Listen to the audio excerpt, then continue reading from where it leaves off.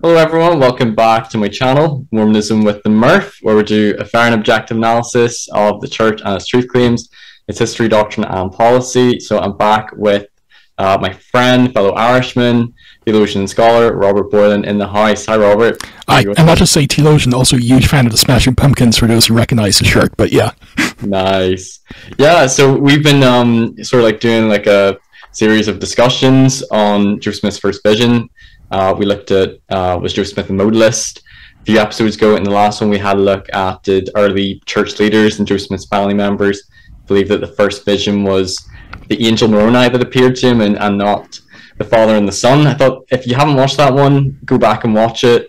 Um, I think we sort of answered the questions that a lot of the early church leaders, if you look at those quotes in isolation, uh, from like the Journal of Discourses and Sermons, then it seems that way. But then there's other quotes at other times where they seem to be aware and teaching the Father and the Son, and they would have been aware of it because uh, the 1838 account was published in 1842 in in the Times and Seasons, so they would have been aware. And most likely, the quotes from Joe Smith's family members might have been conflations.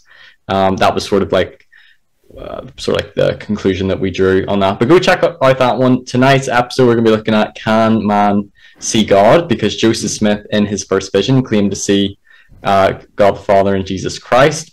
But uh, some critics, especially maybe Christians, might point to scriptures in the Bible that say man can't see God, ergo, Joseph Smith didn't see God and he was lying and the church falls flat. So we're going to be diving into uh, some of those passages and maybe look at other passages that support uh, the view that man can see God. Obviously, uh, we can't prove that Joseph Smith saw God, but it's more to provide a defense to those who say there's no way he could have seen God uh, according to the Bible.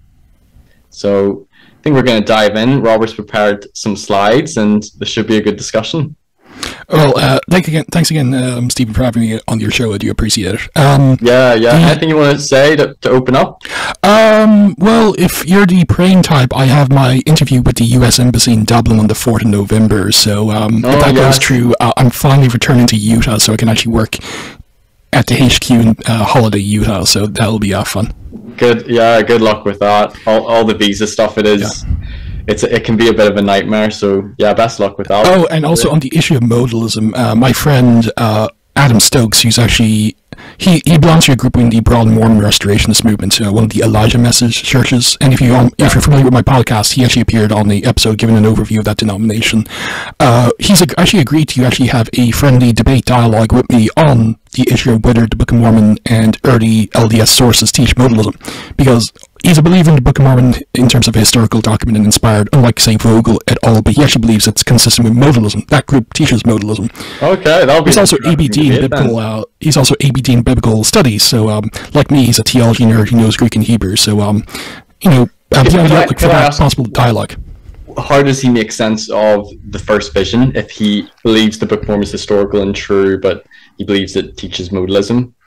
Uh, he believes that the uh, like the 1835 account is like um, only expanding upon one person, but the different modes of that one person and so forth. And um, I have an idea oh, like how he would approach it. Um, so and uh, of course, like in our live episode, he knows how I'll be approaching um, that uh, particular topic. So and we're both educated in theology academically, so it will probably be like one of the uh, best discussion series. Um, awesome. Yeah, that'll be good. Yeah. yeah. And also in January, I'm scheduled to have a debate on with a uh, Catholic apologist. Um, the thesis is the Immaculate Conception of Mary is apostolic in origin. Um, so uh, be on the for that. It's scheduled for sometime in January of 2023 in Utah. Uh, it's going to be odd because the Irish guy is a Mormon and the Utah guy is a Catholic, and that's going to confuse the audience. But you know, be on the for that anyway. that, that's that's quite uh, the swap around. yeah.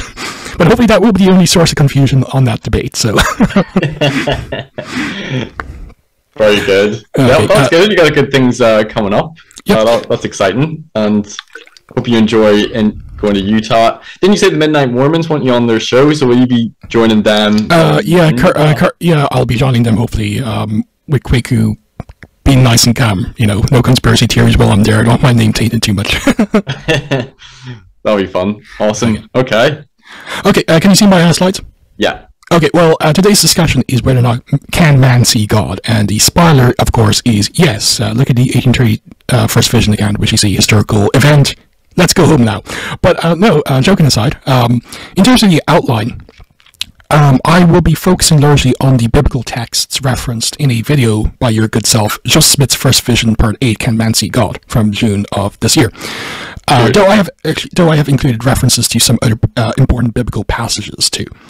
And Yeah, yeah. Well, with that that video, I'll I'll link it in the the, Yeah. the description as well. I kind of do like a short sort of overview of some of the scriptures uh, Christians would point to in the Bible that say man can't see God. I look at some that maybe sort of contradict this and say, well, people have seen God in the past. Then I show some that we sort of like the church's view on it, but this will be sort of expanding and building uh, on that. But that that's a good sort of intro video um, if people are sort of new to this discussion, this topic.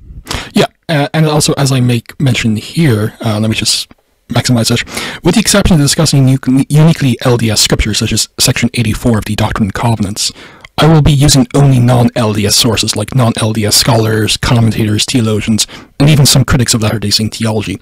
Um, now, I know Greek and Hebrew, so I can actually go through the text, and I'm pretty well informed about the issues. But at the same time, one will say, "Well, that's your bias. That's Dunning-Kruger, or what some kind of smokescreen like that. So what I will be doing here is like providing like non-LDS commentators, non-LDS scholarship on the relevant texts and issues to show that mainstream biblical scholarship does not actually believe that there's a contradiction necessarily. They might claim they come from contradictory sources like a P source and E source, but when it comes to whether or not man can see God, largely the biblical text with some qualification does teach man can actually see God. It's not mission impossible. Okay. Right. I guess that makes it more credible as well because they don't have uh, a bias as much as well. I suppose they're biblical scholars, but they wouldn't have. Yeah. Maybe you could argue the same bias that a member of the church and apologist would be. And many, and many of them would be like uh, confessionally like Reformed or Catholic, so they would actually be largely Trinitarian or agnostic. I'm not going to quote any Latter-day Saint except to define Latter-day Saint theology. And of course, when it comes to say the Doctrine and Covenants, you only really have like Latter-day Saint commentaries on it for the most part. But uh, be that as me. I'm one of the few Latter-day Saints that you've quoted in these slides. That's cool. Okay, the first text, of course, is Exodus chapter 33, verse 20. Um, and he said, Thou cannot see my face, for there shall no man see me and live. And that's the King James translation. You know, and a prima facie reading would say, like, well, there's no qualification. You can't see God's face, ergo, you can never see God. Okay? Yeah. So n- that now the JST, and I'm only using this to show like Joseph Smith's expansion and um, interaction with the text, trying to harmonize this with the other texts. And he said unto Moses, Thou cannot see my face at this time, lest mine anger is kindled against thee also, and I destroy thee and thy people. For there shall no man among them see me at this time and live. For they are exceedingly sinful, and no sinful man had any time, neither shall there be any time sinful man at any time they shall see my face and live. So it's not you can't see my face ever, but because of sinfulness, you know, there's this kind of veil.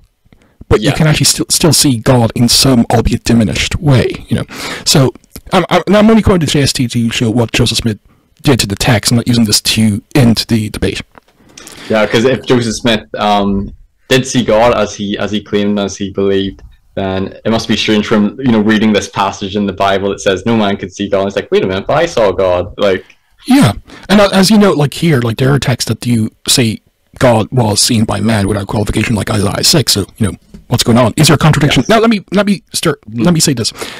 I don't believe Scripture, and I would include uniquely LDS Scripture there to be free from any error or any inconsistency. So, like, if there's an inconsistency in the Scriptures, you know, um, for me, I'm not a fundamentalist. I have a very conservative view of Scripture, but I don't. I'm not a fundamentalist. You know, I accept evolution. I have no problem with the documentary hypothesis, although I lean towards the supplementary hypothesis. So I'm not kind of some kind of like anti-intellectual, crazy person here. I just don't believe there's a contradiction here. So okay, now, uh, actually, mainstream biblical scholarship understands, even in Exodus and the Book of Deuteronomy and other texts, you know, the Torah, God does have a form, and man can see some aspect of that form, but never God's full presence because of sinfulness. Uh, for instance, there was a very good book by a Protestant, um, Sp- Protestant Publishing Press, uh, last year, A Human Shaped God, Theology of an Embodied God by Charles Hatton, who's not a member of the church. And he's actually commenting on Exodus 32 and 33.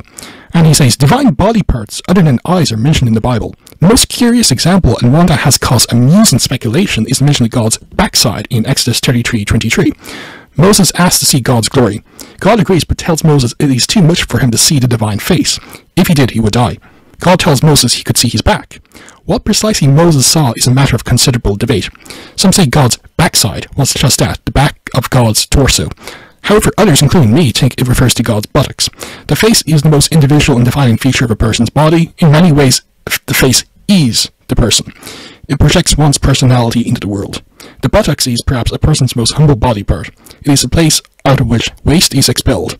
God seems to be saying to Moses, You cannot handle my most radiant feature, so I will show you my most lackluster part of me. Now, some will get a giggle out of that, like, you know, uh, Yeah, basically God showing him his backside. But this to show, like, uh, this theologian, he's not a member of the church, and confessionally would hold to, like, the traditional, the absolute divine, simplistic view of God.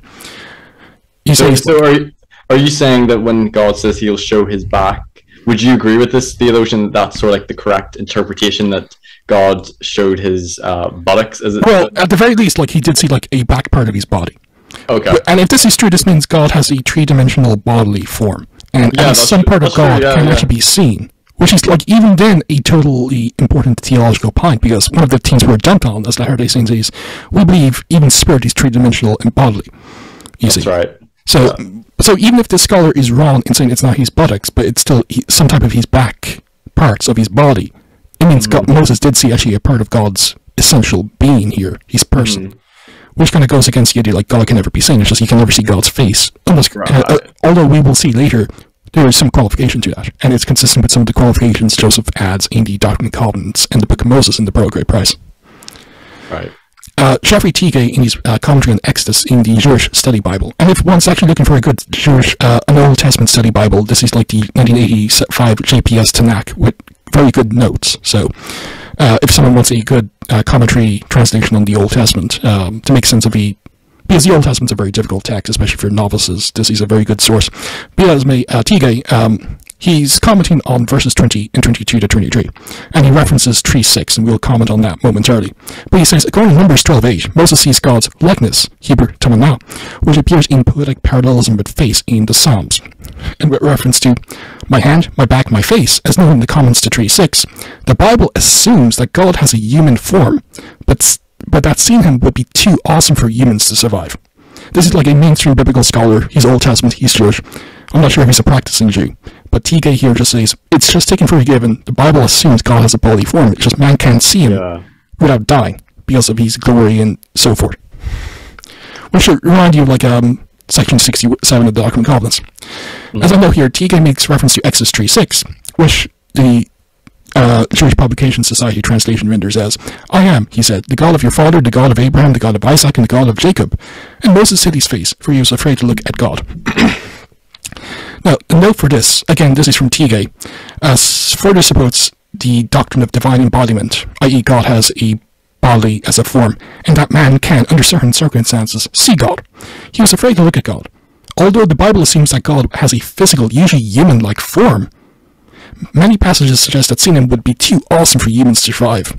Exceptions include Exodus 24, Numbers 12, 8, Deuteronomy 34, Ezekiel 1, 26 to 28, which like Isaiah 6, like where God is on his throne and so forth. So, Yeah. according to Tigay, um, it's just taken as a given God has a three-dimensional uh, form, human-like, and man can actually see him under certain circumstances, but usually can't because it would be too awesome to survive his presence.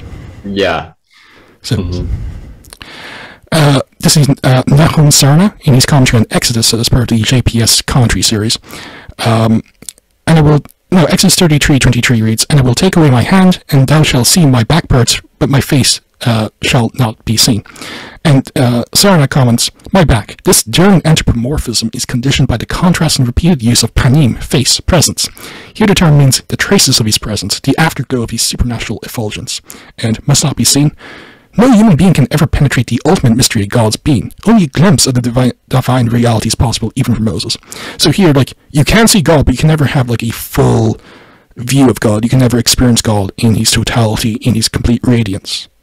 Right. Was that because um, Moses and like the children of Israel were sort of like under the uh, like the lesser the Mosaic law. Yeah. After when he went up to Sinai, is that is that That, why? that, would, that would be a factor as well. Because, like, Exodus 32 and 33 set when the golden calf incident, where. And we'll address the golden calf momentarily and what that represented. But basically, Okay. this God says to Moses, I'm going to destroy all the Israelites except you, Moses. And what does Moses do? He intercedes and God changes his mind. And if we ever discuss God's foreknowledge, that's a text that proves, no question to my mind, open theism, but that's a different debate.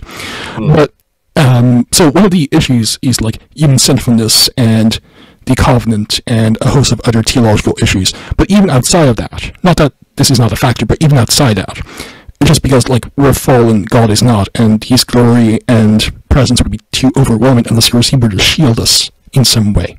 Right, like he needs to transfigure us. His spirit needs to almost like Yeah. fill you to in order to endure his presence. Yeah, yeah, like what happened to a certain someone in 1820.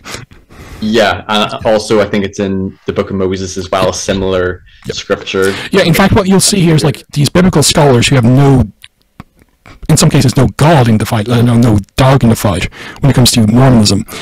They'll come to very similar conclusions that Joseph Smith came to as well. Uh, when it comes to now, Joseph was not the only person that actually came up with these these these ideas. Like they've been around for a while, but he's the fir- uh, he he did canonize them and put them into like divine revelation, but like uh, the ex cathedra, if you will, um, weight onto them. Okay. Uh, there's a book that uh, by Peter R. Carrell in his book Jesus and the Angels, Angelology and the Christology of the Apocalypse of John, and that fancy title is basically the Book of Revelation and its theology of God and Christ and angels. Although it could be argued that the appearance of the Ancient of Days, with details given about his clothing and the hair, hair of his head, seem to be contrary to the Old Testament precept that no man may see God and live, Exodus 32:20 is referenced. Such a vision is, however, in line with other accounts in the Old Testament. Thus, in both 1 Kings 22, I saw the Lord sitting on his throne with all the hosts of heaven standing beside him, and Isaiah 6:1, I saw the Lord sitting on the throne, which I think is one of the texts you used positively in your video. Yeah. There is an implicit suggestion that God can be seen in certain circumstances. So, now, I know some will say, well, you know, Latter-day Saints don't believe the Ancient of Days is actually God. They, we believe the Ancient of Days is the Archangel Michael or Adam. And that's true, but notice here, it doesn't have to be, the author doesn't have to be correct that the Ancient Days is God, because he references other texts that do speak unequivocally of God in 1 Kings 22 and Isaiah 6. So his argument is not dependent upon the Ancient Days being identified by God. But again, we have a, a mainstream biblical scholar published by Cambridge, which is not a pro-LDS venue or some kind of a crazy venue, if you will, saying, again, the Bible, under certain uh, circumstances, does say that God can't actually be seen. There are rare, ex- there are rare examples and exceptions, but he can't actually be seen. It's not like an angel, or it's not a theophany in the sense of like God only shown um, condescending down to like human level by speaking and appearing like a man. No, God is essentially three-dimensional, anthropomorphic, and can be Right. seen under certain circumstances, such I as think I've heard certain 32. Christians interpret, like, for example, when uh, Stephen has his vision seeing the glory of God, Jesus on, Jesus on his right hand, that I've heard them interpret as no one can see God, but he had just like a vision which is different than God. Yeah, and some say like, oh, no, he only saw the glory of God, not God. And we actually, I, Yeah. I will actually have some notes on Act Seven near the end as well, so we'll cover that in some detail as well. Okay. Grand. And by the way, feel free to stop me if you need any clarification. But hopefully, uh, so far it's um, No, so far, um, yeah, following and is that what you're trying to say? Uh, Marianne Meye Thompson, who I believe is actually a Roman Catholic, uh, she wrote an essay, Jesus, the One Who Sees God. And by the way, she's written some very good works on the Christology of John and the narrative of John. If God cannot be seen, it is not because God is invisible, but because God hides himself, or because no one can see God and live. The possibility of seeing God always remains, but it is qualified in numerous ways due perhaps to the character and nature of God, and to the virtue or status of the particular individual, or the variety of ways in which seeing can be understood. So again, uh, in the work largely on the issue of Christology, Hurtado and Segal were leading scholars on Christology. This is like a fellowship for them. Uh, this Johannine scholar says, no, God can be seen, and he's not invisible. And we'll be addressing, like, is God visible or invisible?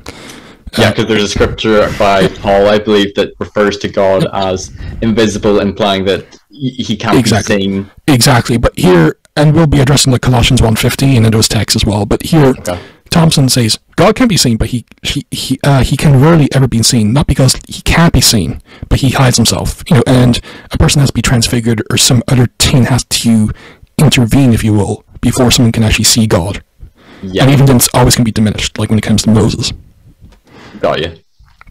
Okay, so let me make a note on two texts that did not appear on the video, but I think they're important. Um, Genesis 16:13 in the NRSV, and the NRSV, for those who know uh, may not know, it's the it's a translation from 1989. It's my favorite uh, English translation. If you want a very good English scholarly translation of the Bible, uh, for the most part, I would suggest the NRSV. So, so, i.e., Hagar named the Lord uh, who spoke to her, You are El Rai, for she said, Have I really seen God and remained after uh, alive after seeing him? So, Hagar seems to actually suggest she, actually saw God. Now, uh, commenting on El Rai and how it should be interpreted as both metaphorical, i.e., God favoring Hagar, and Hagar physically seeing God in a non lethal way. Uh, Theodore J. Lewis, in his book The Origin and Character of God, Ancient Israelite Religion Through the Lens of Divinity, uh, a massive book that came out two years ago, uh, wrote the following. And the quote is a bit lengthy, but I think it's rather, uh, it covers a lot of bases. Most scholars assert that El Rai designates God El, and that just means God, seeing Hagar in the sense of seeing one's needs and rescuing one from a predicament, uh, a metaphorical interpretation. Many interpreters have def- uh, deferred to Klaus Koenen, who concludes his analysis by translating the original text of Genesis 16:30 as follows: "Here, the God who has seen delivered me. Truly, here I have seen, in the sense of met, the one who sees delivers me. This analysis is in accord with many traditional commentaries dating back to at least as early as the medieval period, who have rationalized that there is little difference between the ra'ai that occurs in the middle of the verse and the ra'ai that is at the end of the verse. Yet the team, yet there is the possibility that ra'ai uh, could be uh, referred to in older tradition, wherein Hagar, Hagar sees the uh, Hagar sees the deity. Um, Hagar is clearly the subject of rati. This is the understanding behind the Revised Standard Version's rather free translation. Have I really seen God and remained alive after seeing him? Such translations show the lasting impact of Wellhausen, uh, and Wellhausen is the one who uh, popularized the documentary hypothesis. Um, on the field, it was Wellhausen who, without textual warrant, read uh, Elohim for hello and inserted Wa'chi, uh, and I lived prior to Achari. Uh, see the BHS apparatus. Uh, suffice to say that the corrupt state of the text will prevent us from resolving the passage. That seeing the deity can be a lethal, uh, lethal is a motive well attested in biblical lore. A person cannot see me and live. Exodus 33 20. At the same time, in special instances, a favored person is allowed to see the divine without dying. In our passage, we clearly have God favoring, seeing Hagar, and Hagar seeing God in some sense of the word, whether it be physical sight, a non-lethal God sighting, or an experience of God's protection. Nahum Sarna, who we quote again, uh, argues that the vocalization El Rai demonstrates a marvelous ambiguity where the several meanings are intended to be apprehended simultaneously. It's not either or, it's both and, if you will. Okay, can you just summarize exactly what what is sort of like the the point or of this long quote? I've gone a little bit lost. Oh no! Oh, sorry about that. Um, I just wanted to quote Lewis in context. So, uh, right. basically, the verse says Hagar sees God, yeah. and some say, well, this scene is only metaphorical, and some say this no, this Hagar actually saw God, and he says no, there's it's ambiguous enough where it's actually both. It's both and ways. it's not either or. Yeah. Right. Okay. I got you. So, sorry about that. Just like I wanted to quote him in full. Okay. So yeah. Thank you. No problem. And Nahum Sarna, who we quoted previously in his commentary on uh, Genesis, um, the vocalization of the second element, and by the way, vocalization, the Hebrew was never written with vowels, and that sometimes can be a bit of a pain because there's enough ambiguity here and there, like when it comes to this particular text. So, uh, you know, there's the Masoretic vowel pointing and stuff like that. So, the vocalization, and that's what he means by vocalization, the vowel pointing, of the second element occur, uh, occasions a marvelous ambiguity that permits the following translations of name God of seeing, that is, all seeing God, God of my seeing, that is, whom I have seen, God who sees me. So it depends on who you point it. It could actually be one of the. Uh, to give an example from English, if you only used consonants, are you shipping, are you shopping, are you slipping, are you slopping? Um, so, most likely the several meanings are intended to be apprehended simultaneously. So it's not either or it's both and. When God sees, it is of course that he shows his concern and extends his protection. When Hagar sees, she experiences God's self-manifestation. And have I not, the difficulties in the Hebrew text are formidable, but the statement combines the scene and on the part of Hagar and God in both senses of the word. So the TLDR version is Genesis 16:13 teaches that Hagar sees God, and not, yeah. since, not in something since she was favored by God or shown mercy by God, if you're familiar with the Hagar narrative, but she actually sees God as well. So it's right. both and, in oh, spite of some of the ambiguities of the Hebrew text. And is that why she was said, "Did I actually see God?" Is that what it said in the scripture? Did I actually see yeah, God? Yeah, she actually sees God, um, and she was also favored by God. You know, it's metaf- it's it's metaphorical and literal at the same time. It's both Right. Double sort of double meaning. It, it, play, it plays on the uh, ambiguity as to vocalization and the meaning of uh, to see. Okay. Okay, I get that. Now, uh, Jesus in Matthew 5 8 says, Blessed are the pure in heart, for they shall see God. Um, you know, part of the Beatitudes. And, um, and blessed are the cheesemakers for you Monty Python fans. But uh, with respect to the promise that the pure in heart will see, oh, ah, oh God, um, George Wesley Buchanan, and Buchanan's more well known for his commentary on the Epistle of the Hebrews, but he wrote a very good book as well, uh, published by Brill, uh, The Consequences of the Covenant. Um, pages 74 to 75, footnote 10 noted that. And this is a bit long, but it covers like a lot of biblical texts. So, um, Okay. the promise that anyone would ever see God seems strange in light of other biblical testimonies, just as 1 John 4 2 said that no man can ever see God.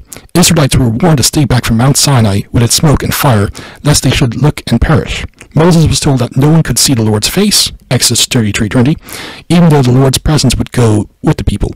Nevertheless, after the commandments had been given, Moses, together with Aaron, Nadab, and Abihu, and the seventy elders of Israel, went apart from the people and saw the God of Israel. They saw a God and ate and drank, and that's Exodus 24. This took place at the festival at the top of the mountain covered with a cloud, again Exodus 24. Moses also reminded the uh, Lord that he uh, was seen face to face, and that his cloud stood over his people, and that the Lord went before them in a pillar of cloud by day and a pillar of fire by night. Isaiah was in the temple when the place was filled with smoke, and he saw the Lord. Isaiah 6, which is one of the texts he used, where it actually says he actually saw Adonai, the second Hebrew word there, which means sovereign Lord, or Jehovah. It's a substitute for Jehovah. Those who lived in the temple, i.e., the priests, were required to walk blamelessly in certain uh, specified ways. He was curiosity, do you believe that Isaiah saw? Um, do you believe it was like Jehovah's and premortal, premortal Jesus. Uh, yeah, John 12, John 12 says that Isaiah saw his glory, and he quotes Isaiah 6, and some claim, well, you know, that's the suffering servant. I actually think it's both. He saw both the suffering servant's glory, but also the Lord's glory in Isaiah 6. Okay. Yeah, I do believe it's the pre-mortal Jesus. Okay. Um, in light of the uh, Gospel of John, and like I say, the Book of Mormon hints that it's uh, Christ as well uh, in certain aspects, but yeah. But uh, but Jehovah can be used, of course, of the Father as well. Uh, I think we covered that Yeah. like, in the uh, first one, but in this case, it's the pre-mortal Jesus. Okay. And uh, just continuing, those who lived in him, uh, he who ascended to the hill of the Lord was required to have a clean hand and pure hearts. Rabbis understood the passage because in a cloud I will be seen on the ark cover. To refer to the cloud of smoke made by incense offered by the priest on the Day of Atonement when he entered the Holy of Holies. And that's significant because the rabbis were often very anti-anthropomorphic. They opposed the idea that God had body parts. So the very fact that we actually understand the text to teach that would kind of show that, in spite of their traditions, not all, but many rabbis, uh, sources actually had a problem with God having parts. Um, so much so that even some actually believed the Ancient of Days in Daniel 7 was not God, but the Archangel Michael or some other figure, interestingly enough.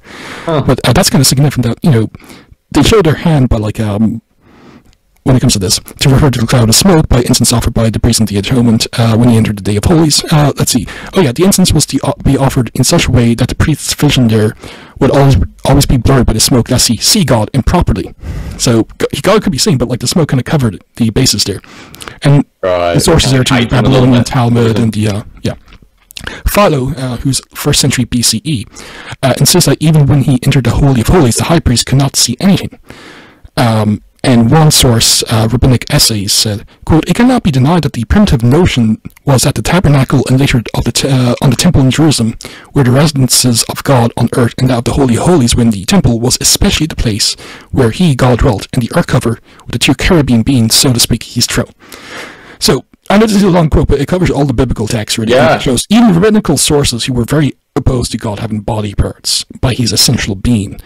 They actually uh, sometimes give the game away, if you will, by saying uh, God could be seen, but like the incense kind of blurred him, and yeah, the cherubim was his throne, and would speak at least anthropomorphically of God. And there's other biblical texts that do state God was seen and could be seen Yeah. without qualification. Okay. Got you. Uh, he states the rabbis often sought to suppress or modify these primitive beliefs, i.e., the idea that God has a body and so forth, or at least to remove them from the crude anthropomorphic elements. But they were not always successful. These primitive beliefs were retained by the people, and echoes of them are found, found in the Talmud and the Midrashim, sources a few centuries after the New Testament era, even. It seems then that the experience in which Isaiah saw the Lord in the temple, again, the text you referenced in one of your, uh, in the same video, with the smoke and the fire was a situation much like that of the priests offering sacrifice, and the like in that in which Ezekiel saw the likeness of the glory of uh, the Lord in the temple. Ezekiel said that the throne um, held one whose appearance was like that of a man, the term Adam. Both experiences were related to smoky, fiery situations in the temple, somewhat similar to that in uh, Mount Sinai, when the leaders saw God of Israel while the mountain was covered in the cloud, and also the description of the Lord who was seen in the pillar of cloud or smoke and fire caused by the burning fire at the tent of meeting. And he closes with this.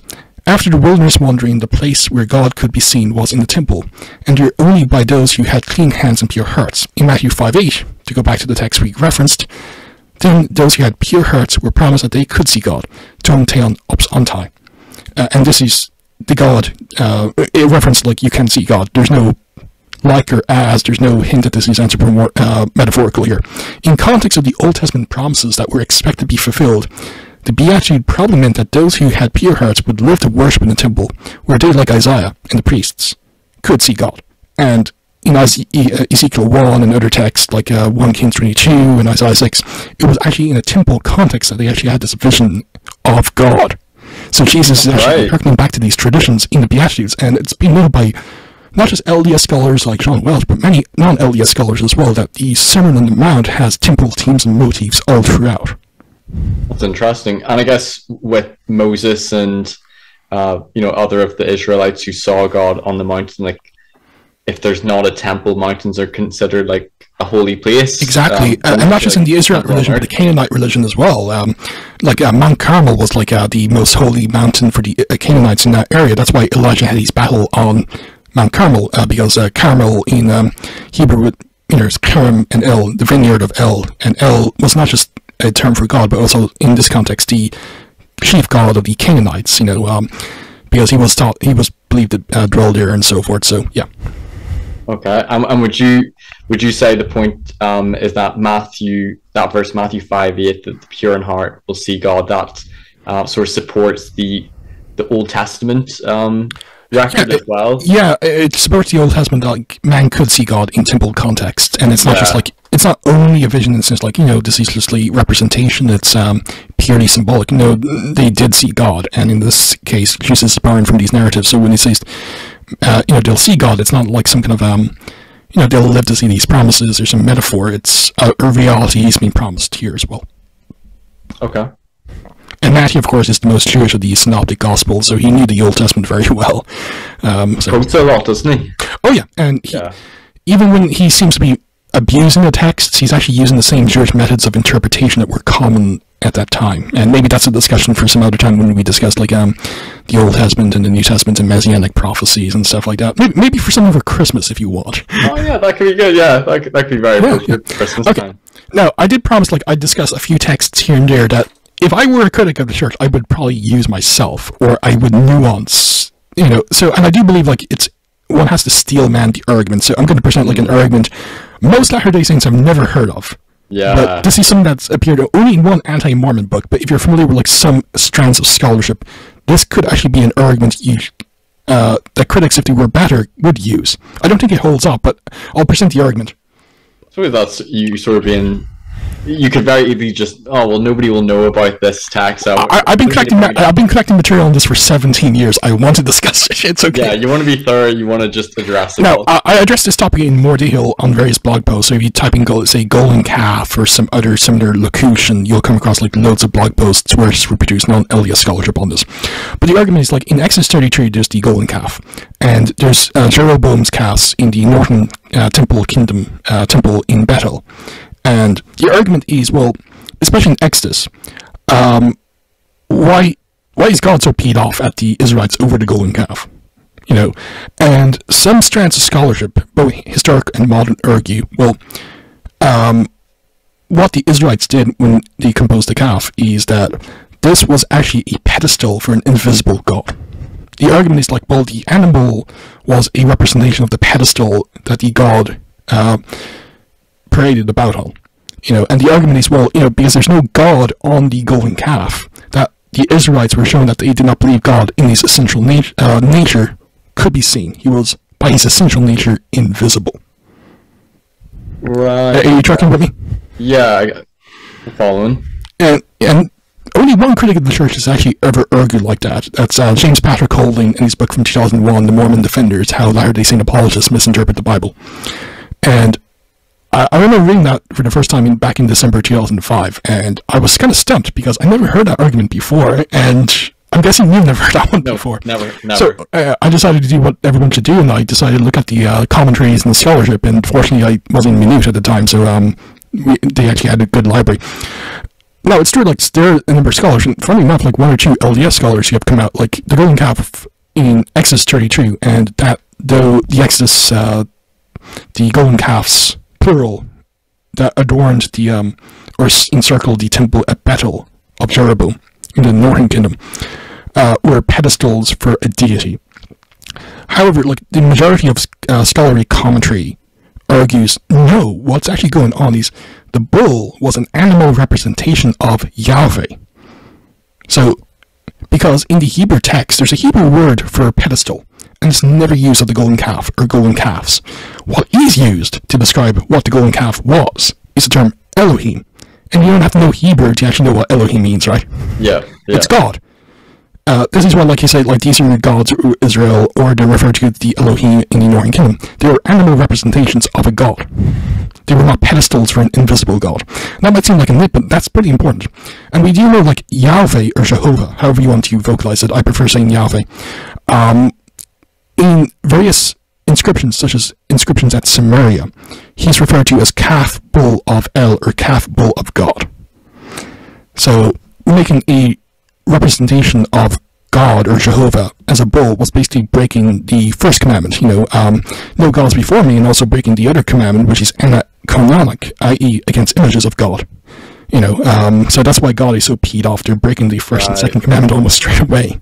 But according to a lot of scholars, so were the were the Israelites were they um was the the golden calf was that almost them sort of like this is a physical manifestation or not manifestation but like representation, representing yeah, representation of basically a God, statue, yeah, of, a yeah. different god in their mind but it was still them um making God Make it, make it, making like a statue or an icon of God. In this Right. case, Jehovah. Um, you know, Yeah. so i it's going against like a bunch of the uh, big ones if you're familiar with the Ten Commandments. Um, Yes, But yeah. basically, the scholars, not all of them, uh, but a lot of biblical scholars, historic and modern, uh, believe that the golden calf or the golden calves plural, because they're referred to as Elohim because of the uh, inscriptions and because of other evidences like um, the Canaanites depicted Baal, who was like the Canaanite equivalent of Jehovah, if you will, as a bull as well. And um, El, who was the chief god of the Canaanite deity, he was like a uh, he was represented as a bull because he was so um, he he had a lot of kids. Let's just put it that way. Um, it was seen as a sign of fertility and so forth in the ancient Near East, and you know, um, right. It- basically this the TLDR is like no the golden calf was a animal representation of Jehovah. Um, and if one wants like a lot of quotes you know I have loads of posts because I've been looking at this on and off for like 17 years. Uh, but um, to give one example John Day is like a non-LDS scholar and he's done a lot of great work on what image and likeness means in Genesis 1 and other texts. Um, he in his book Hosea and the Baal cult and Hosea the book of Hosea deals a lot with the Canaanite religion as well it would appear that Jeroboam's aims in the northern kingdom with the Calves were to stop the northern tribes from going up to Jerusalem. It was like a rival temple. The golden calves would naturally have been understood as symbols of Yahweh, not pedestals, but symbols or animal representations of Yahweh. Mm-hmm. Interestingly, the only known Hebrew personal name contained the word for calf, namely, Yahweh is a calf or calf of Yahweh, attested in Samaria, Ostracon 41, not long before the time of Hosea, coheres with this. So even in the um, Sitz im Leben, or the situation in life of the Israelites, uh, there were personal names where calf and Yahweh were combined together. Calf of Yahweh, or Yahweh a calf. No, the calf is a symbol or a pedestal. Well, not, uh, and that would not be the case if the calf was only a pedestal and not the god himself, if you will. Now, it might seem like a technical point, but like, um, yeah. Okay Uh, and another example is Mark Smith. Uh, he wrote a great book, The Origins of Biblical Monotheism, but uh, he also wrote a great book as well, which I'm quoting from, Where the Gods Are Spatial Dimensions of Anthropomorphism in the Biblical World, which is a mouthful. But he argues, although the extant evidence of, for the plural representations of Baal postdates the single calf of Jeroboam the but may have been traditional forms for presenting the emblem animal of the patron warrior god. The calves are not simply a pedestal, they are part of the representation associated with the deity called God's Elohim in 1 Kings 22 28, and they're also called Elohim or God in Exodus 32 to 33 as well. Under this form of collective plurality, uh, this may be the Elohim taught to bring the Israelites from the land of Egypt. So it's not the pedestal who can bring them, it's God, so they taught this was God. This proclamation may be uh, located when the ritual context to celebrate the divine victory over Egypt. The military term suggests ritual played out in a religious context that celebrates this victory, perhaps in anticipation of future victory. See Psalm 20. Accordingly, Jeroboam's cult arguably entailed a temple ritual celebrating military victory and homage paid to the divine victor in the act of kissing the bovine icon. So they actually did homage, and they did homage by kissing the icon. That only makes sense. They actually thought it was a representation of the god and not a pedestal that's distinct from the god. Ah, I got you. So like the yeah, and um, I'm not going to read them all, but like uh, if those who want to read like pause, you know, this is one book from uh, Norman um, Habel, Yahweh versus Baal: The Conflict of Religious Culture by Wipf Stock. And this is like a more broadly at the mountain of God story and theology, Exodus 32 to 34. Again, they argue it's not a pedestal, it's a representation of a deity, in this case, either Baal or Yahweh. Okay. And for those who want more information about this, uh, because I know this is rarely, if ever, discussed in LDS circles, let alone LDS apologetic circles, just kind of go on my blog and type in golden calf or golden calves, and you'll come across like a bunch of posts. Um, I've been looking at this like on and off for 17 years because I never came across that argument before I read that book, but I've never come across it since then. But there's like some scholars, you know, peer-reviewed scholars who still hold to the pedestal interpretation. So if and when this ever comes out or ever is picked up by a critic, at least you know, oh no, no, it, it can be easily refuted now. Right, and just so I'm understanding Go the ahead. way critics use it, um, sorry because this is kind of brand new to me.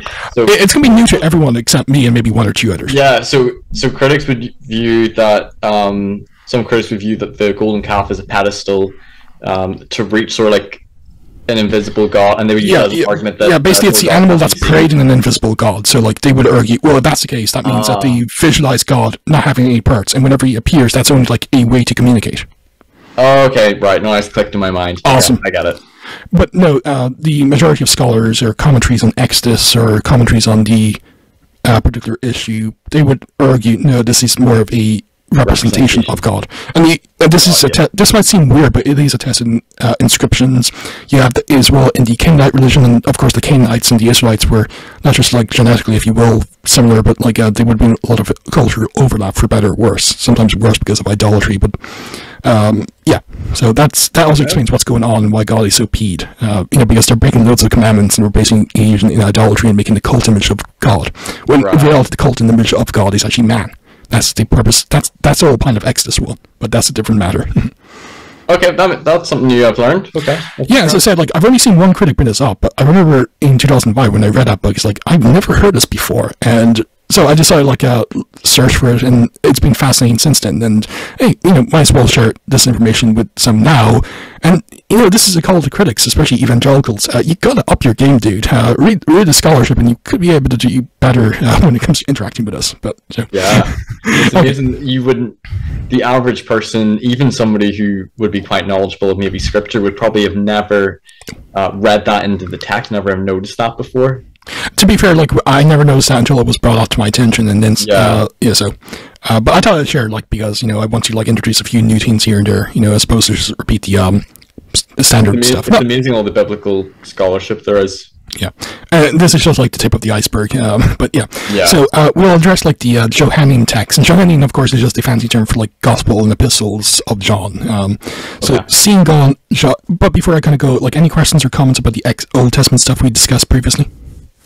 No, no, um, I think that all makes sense. So I think the general sort of the summary or the point is that um, there those passages there's passages in the Old Testament where maybe God's face was veiled, but um, people c- could have seen God, but they must they had to be you know pure in heart, so so to speak, and and people had visions in like temples. Yeah, and uh, it's it's, God. it's also significant that they sometimes appear in temples. That means like you know the uh, purification has been offered and so forth. Like you can see this with Mm-hmm. Isaiah. Like he sees the Lord, he realizes this is too impure, and what does do? Like well, the um, seraphim kind of get a coal from the fire and uh, purifies him, and now he can actually withstand his presence and not be feel unworthy and stuff like that. So I think that's kind of significant as well. Okay. Okay, so what we'll do is like we'll address the uh, Johannine text now in your video and like uh, critics. I don't think you're a critic, but like critics also bring these up as well. Uh, for instance, John one eighteen, uh, the King James says, "No man had seen God." Speaking of God the Father, at any time the only begotten, um, which is in the bosom of the Father, had he had declared him. Now, this is not the time to discuss it, but like if you use a modern translation, some modern translations will read a bit differently. Instead of like only begotten Son or unique Son, some will say only begotten God or unique God. There's actually a very important textual variation in the manuscripts. But um, you know, and if you want me to come back to discuss like say textual criticism and stuff like that, um, I'd I'd love to. But this is like one of the major textual differences in the uh, Gospel of John.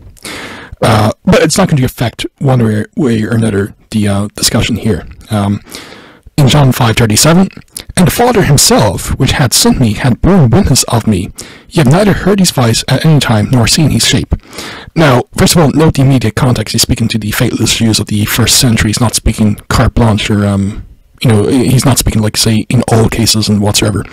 Uh, what's rather interesting, like he uses the term eidos here, which refers to, like, say, the physical representation or um, image of a person, and you can look at I don't discuss it here, but like uh, just look at any good scholarly Greek lexicon, and it doesn't actually say God doesn't have a form. He, that actually does say he does have a form. Thus, you've not seen that form. And interesting, like even those who actually believe God by his nature is either invisible or just doesn't have a body. Um, George McAfee, who's a Christadelphian, uh, he kind of realized like this text is very problematic for our theology, where uh, it, it seems to indicate Christ not only pre-existed, but God has a form. He actually says in his uh, work. Yeah. Yeah, he has a shape, he has a form. exactly. He has a Yeah, so body of some Okay, sort. he may not be seen, but he does have a form that could be seen. But uh, here, this subject, uh, the rejection of the pre-existence of Jesus, has always been a weak link of Christadelphian theology. Many of our arguments lack power in the case of such texts. I have came down from heaven not to do my own will, which implies a decision in heaven before he descended, or again, ye have neither heard his voice at any time nor seen his shape. Carrying the obvious implication that Jesus had, i.e., had seen God's form and God's shape. So even if it's only Jesus who has seen God's form and shape and no one else has, this doesn't indicate God can actually be seen in some circumstance, even if it's any pre-existence kind of state. Can I ask a question on that? 'Cause Go ahead. The only thing that's going through my head is in in obviously our Laodicean theology, and we believe in the plan of salvation that we were all uh, lived with God before we were born in, in the pre-existence. Um, so I've I kind of wonder why does Jesus say that you know they've not seen his form or shape if we were all with Heavenly Father in the pre-existence we would have seen him then? Is he just um? It seems like he's just addressing them in mortality. Now, I'll say right, this. okay. Uh, the personal pre-existence of everyone was not really. Uh, I don't think it was like as taught or emphasized in the first century as it is now. Um, I think it was like something that may have been deduced and stuff like that. But at the same time, uh, it's like um, you know when God says like to the false prophets, "I have never known you." You know, um, of course he would have known them in the pre-existence, but because of their mortal actions, whenever God addresses people, it's never like Right. with, Yeah, with the pre-existence in mind. It's just basically the here and now. So yeah, I, I get that, but like uh yeah, but uh. But yeah, that's and John, also John six forty six, which is part of the uh, discourse at Capernaum. Not that any man had seen the Father, save he which is of God, he had seen the Father. Speaking of Jesus, so like at least on the prima facie reading, like I can understand like why some people would say, well, this means God, in this case, the person, the Father, can never be seen ipso facto. But again, if you read John, even in context, uh, he nuances it. Is is Jesus implying in the scripture that he which is of God is only referring to Jesus?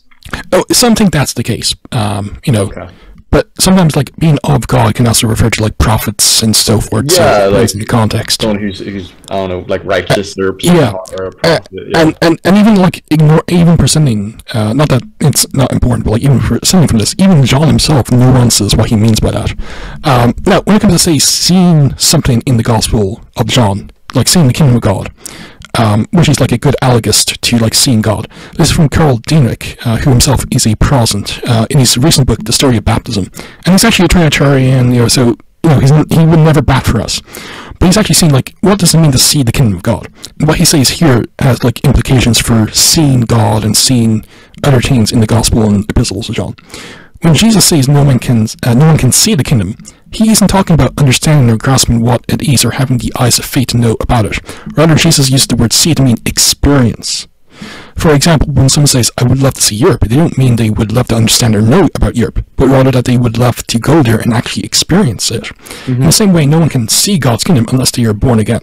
Now, I would say it's true water baptism. He says it's true faith alone, but, you know, that's a different matter. A few verses later, that becomes absolutely clear when Jesus expresses the same idea in a different way, saying that those who are not born again cannot enter the kingdom of God.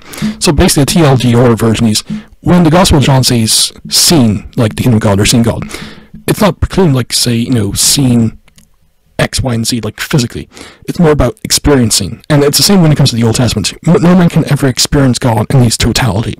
And if you read the Gospel and the Epistles of John um, as something that's coherent, which I know is a minority view, uh, but at the same time, if you actually understand it to be like coherent, or like the editors were at least consistent, uh, not that I believe that they're are editing to the Gospel of John, but that's a different textual matter.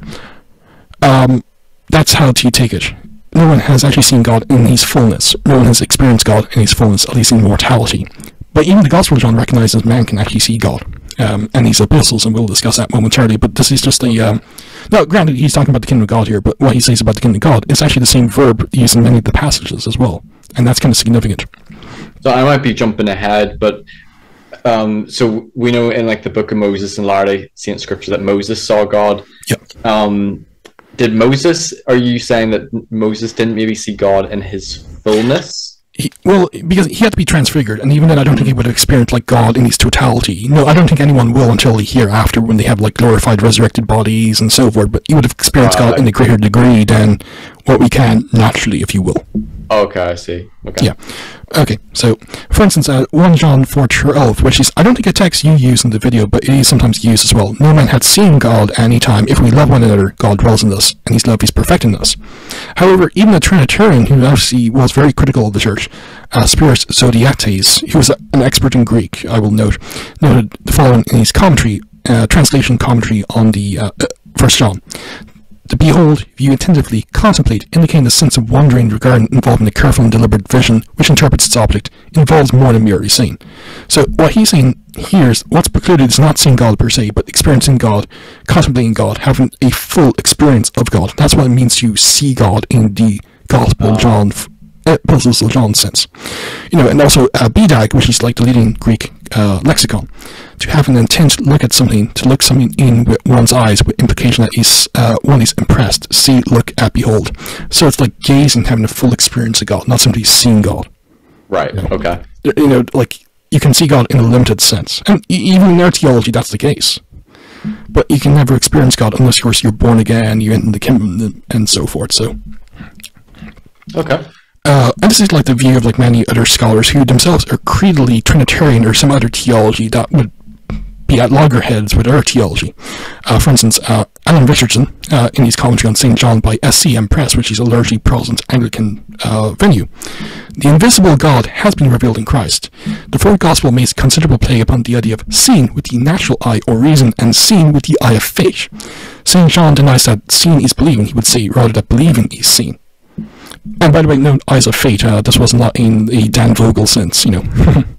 but uh, that's a joke. And this is like the view of like many other scholars. A that- reference to the witnesses. yeah, th- it, it's a joke, yeah, yeah. Okay. Uh, Leon Morris, he was like a staunch Calvinist. He would not like the church at one all. He had the very same view. Um, he even references Exodus 33 20.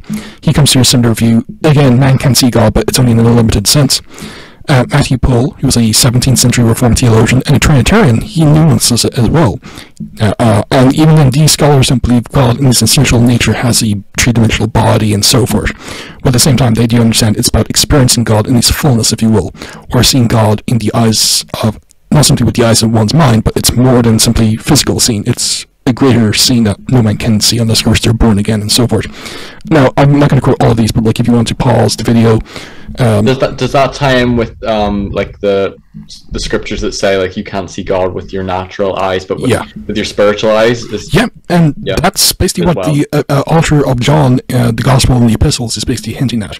No, Go- John is a very Jewish Gospel, and he knows the Old Testament well, so he knows about these texts that God appears in. In fact, he, in John 12, he actually says that the uh, divine person in Isaiah 6, you know, when Isaiah saw the Lord, that was actually the glory and the person of Jesus. Um, uh, verses 48 and onwards, for those who want to look at it. Uh, Adam Clarke as well, the Methodist, um, who some think Joseph may have uh, borrowed from when it comes to the JST. I don't think that's the case, but um, at the same time, Okay. he, he was a very popular Methodist uh, preacher and commentator uh, of the time. He actually comes to a very similar conclusion as well when it comes to John 1.18. Uh, now, what's rather interesting, like even critics of the church, um, or venues that aren't very critical of the church, like Catholic Answers, um, they're no friend of Mormonism. Uh, they actually have to argue like this as well. Uh, Mark A. McNeil is a former Oneness Pentecostal, so former modalist, um, and that's kind of apropos for our discussions previously. He wrote a book in 2018 catalog, uh, discussing his conversion from Oneness Pentecostalism, which is very anti-Catholic to the Roman Catholic faith. Uh, all in the name, how the Bible led me to the faith in the Trinity and the Catholic Church. Um, now, because he's one, he used to be one Oneness Pentecostal and held to a form of modalism um, he would have held to the traditional view, you know, uh, God cannot be seen, and so on and so forth. So, what to do when it comes to texts, like, say, that seem to hint otherwise? He actually writes the following Surely it is not possible for us to comprehend the nature of God. Consequently, the Bible speaks of her inability to see God. John 1.18, 1 Timothy 8, 6, 16. On the other hand, some individuals are privileged to see God, at least in a dark cloud, or by way of some visible appearance that God may temporarily assume, sometimes called a theophany.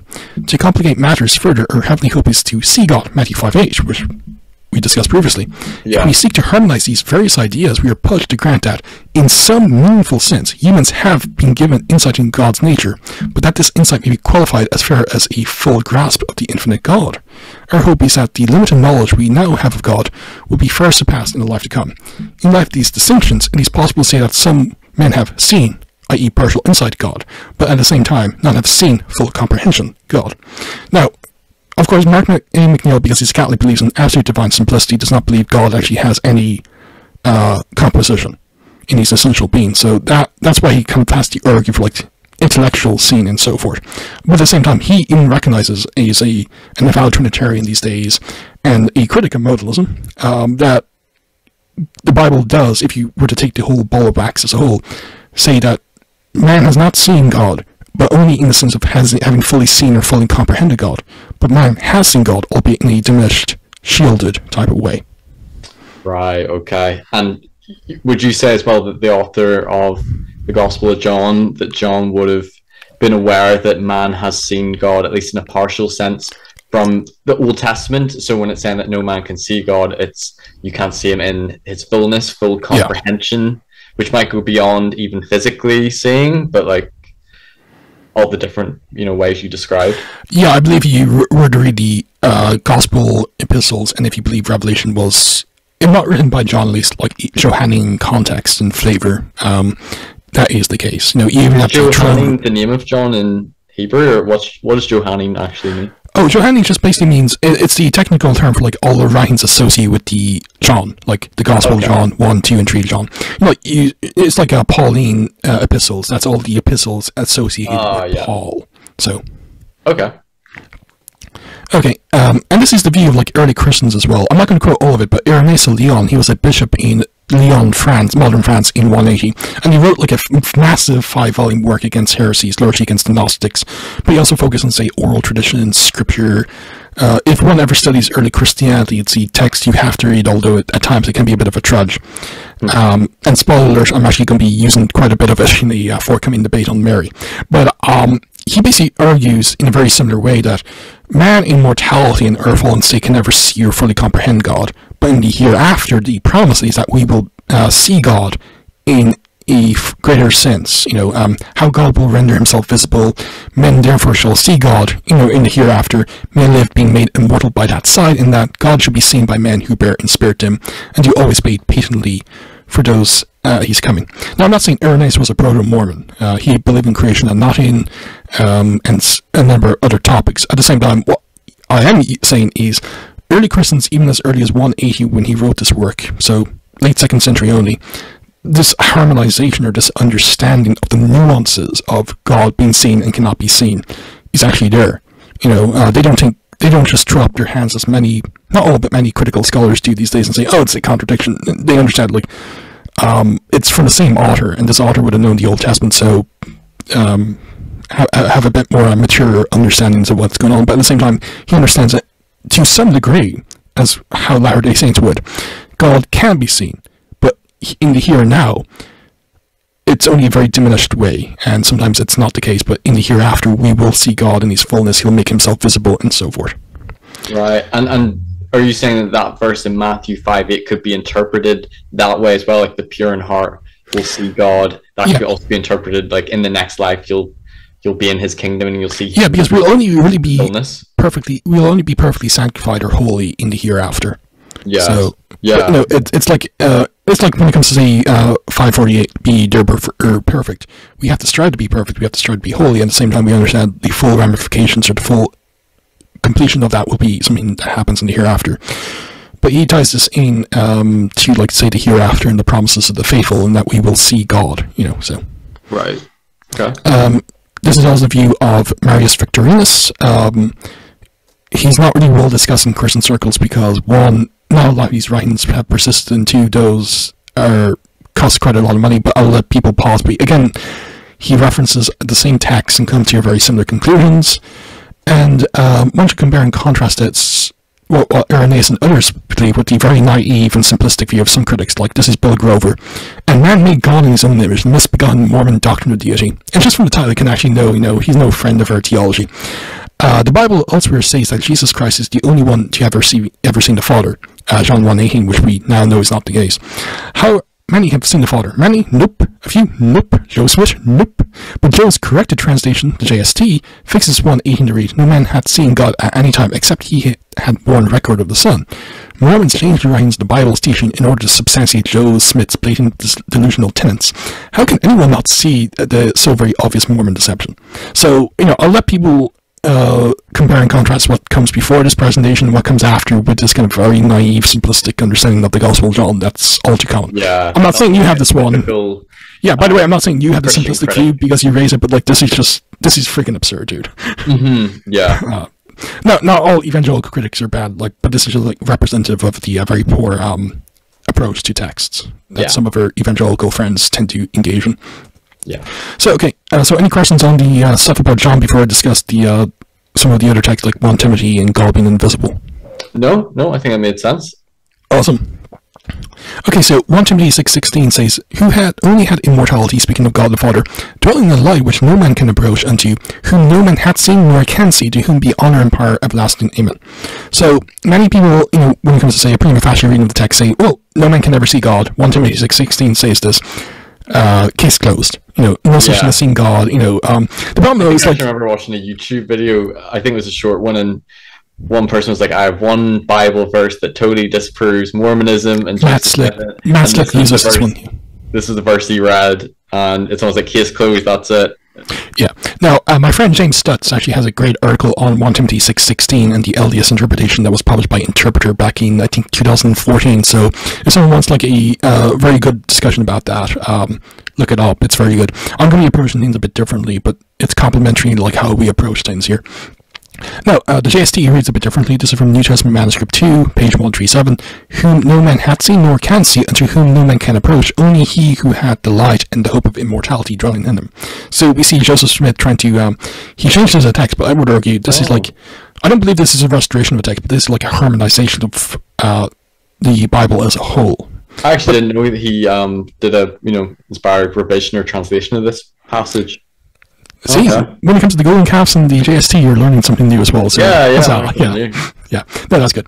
Uh, now, Robert Sungenis, uh, that should be Robert A. Sungenis, uh, in his commentary on the pastorals, and Sungenis is a very traditional Roman Catholic, uh, so much so he's actually a geocentrist. He's a former Protestant, but uh, he's also like a staunch Trinitarian, so again, he's no friend of the church. In fact, he says the church is an evil cult and Joe Smith was a serial adulterer. So, you know, this is an example of just me using the critic of the church. Yeah. Inhabits light inaccessible. Uh, phos oikon um, aphoriston. That is, light so bright that no one is able to approach it, uh, according to BDAG, otherwise known as the Visio Dei, the vision of God. This light is not that which was created on the first day, since the light that surrounds God is uncreated and immortal. Only the new resurrected body will be able to see God as he really is. Matthew 5 8, for instance, is quoted. Otherwise, God is invisible, and he references these texts. Sometimes God localizes himself, and thus Moses was only shown God's back parts, but he was not able to see God's face. It can also be said that Moses was given extra, extremely modified expressions of God's light, as in the lighting of the Shekinah glory uh, cloud. So, according to Longinus, God can actually be seen. You know, in some cases, he's actually even localized. It's just like this text is speaking about how, you know, mortal st- status or fallen status, we can actually we cannot approach God unless God intervenes uh, to do something to bring that about. And that's true. Even Latter Day Saints would agree that on our own we can't see God. We can't withstand His presence unless God intervenes and does something either to like uh, decrease His presence or to increase your holiness or your ability yeah. to withstand His presence. Yeah, and that's sort of like being transfigured and exactly like when Joseph said he was filled with the Spirit of God, like Moses as well. Okay, that makes yeah. sense. Uh, James White, uh, who you've heard uh, of, and he's again no friend of the church. He had a debate in 1999 where he addressed this text, and he actually says it does not mean that God cannot be seen because think of the ramifications. Was Christ in his person God. Yes. Was he seen? Even if you want to say he was only immortality, he was seen. So what gives? And this is from his, does the New Testament teach that Jesus Christ is God? In 1 Timothy 6.16, it talks about no one has seen this unapproachable light. It doesn't say they have not seen the person, but the unapproachable light. That passage may actually be about the Lord Jesus Christ, in fact. So who's, the term anti-Mormon does fit him. I, I, I, don't use that term a lot for people. I don't think Vogel is an anti-Mormon.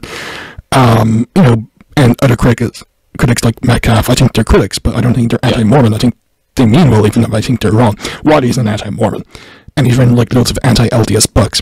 Even he says like, oh, actually, in context, it's not talking about the person can't be approached; it's the unapproachable light that can't be seen. And he's no friend of LDS theology. He thinks he thinks it's idolatrous. He thinks it's blasphemous. Uh, he thinks praying to uh, God, the Mormon God is on par with the sinfulness of homosexuality. He said that in his book, uh, Is the Mormon My Brother? So um, he, he's no friend of ours. And even then he realizes, like, uh, it could be about Jesus, but even if it's not, it's only seeing the unapproachable light can't be seen, not the person, which would indicate that there's um, exceptions if God makes the exceptions, if you will.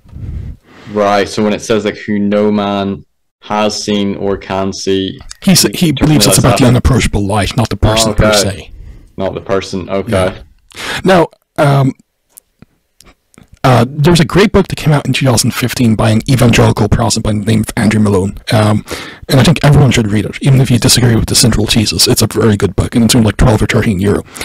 He basically addresses the idea, like um, that's very popular, that in the Old Testament, whenever God appeared, it must be the person of Jesus. It cannot be the person of the Father because of the I was assumption. to ask that question. Yeah. Was, was, Timothy? Uh, what was it? First Timothy six. You just read. Yeah. Um, uh, is not referring to the Father, but James White believes it could be referring to Jesus Christ. Yeah. Yeah, but uh, I do believe it's about God the Father, not Jesus. But be that as may, there's still a Christological problem, like, um, well, what about the second person of the Trinity or second person of the Godhead? But uh, Malone kind of realizes, like, oh, you can argue it was Jesus, but you cannot say the Father cannot be seen, ergo it was Jesus, if that makes sense. He basically argues, now he doesn't believe all the Christophanies, or, um, or I should say the appearances of God in the Old Testament, the theophanies, are necessarily the second person of the Trinity, or the premortal Jesus. He realizes that would mean that there's some kind of difference substantially or by nature between the Father and the Son, and you can't have that if you're a Trinitarian, because the Father and the Son, as well as the Holy Spirit, are what's called consubstantial, or of the same substance, or of the same nature. And I address this momentarily. So he kind of realizes, like, that's a problem. Uh, if you yeah. think, if, if you have that the prior uh, assumption, that, that leads to Trinitarian problems, like Arianism or modalism or some other non-Trinitarian theology.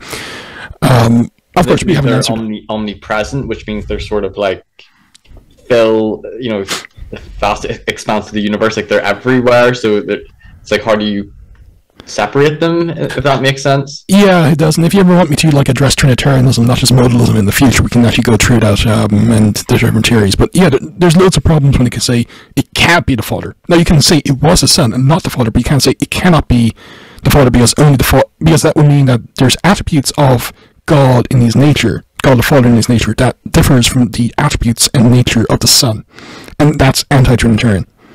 So he, he had, had really good book. share all the same attri- attributes and, and substance and so forth, yeah. Oh, okay, okay. So he actually addresses these texts and say, it does not mean what we evangelicals and other Trinitarians seem to think they are. And by doing so, he actually undercuts a lot of arguments against our theology of seeing God in the very nature of God.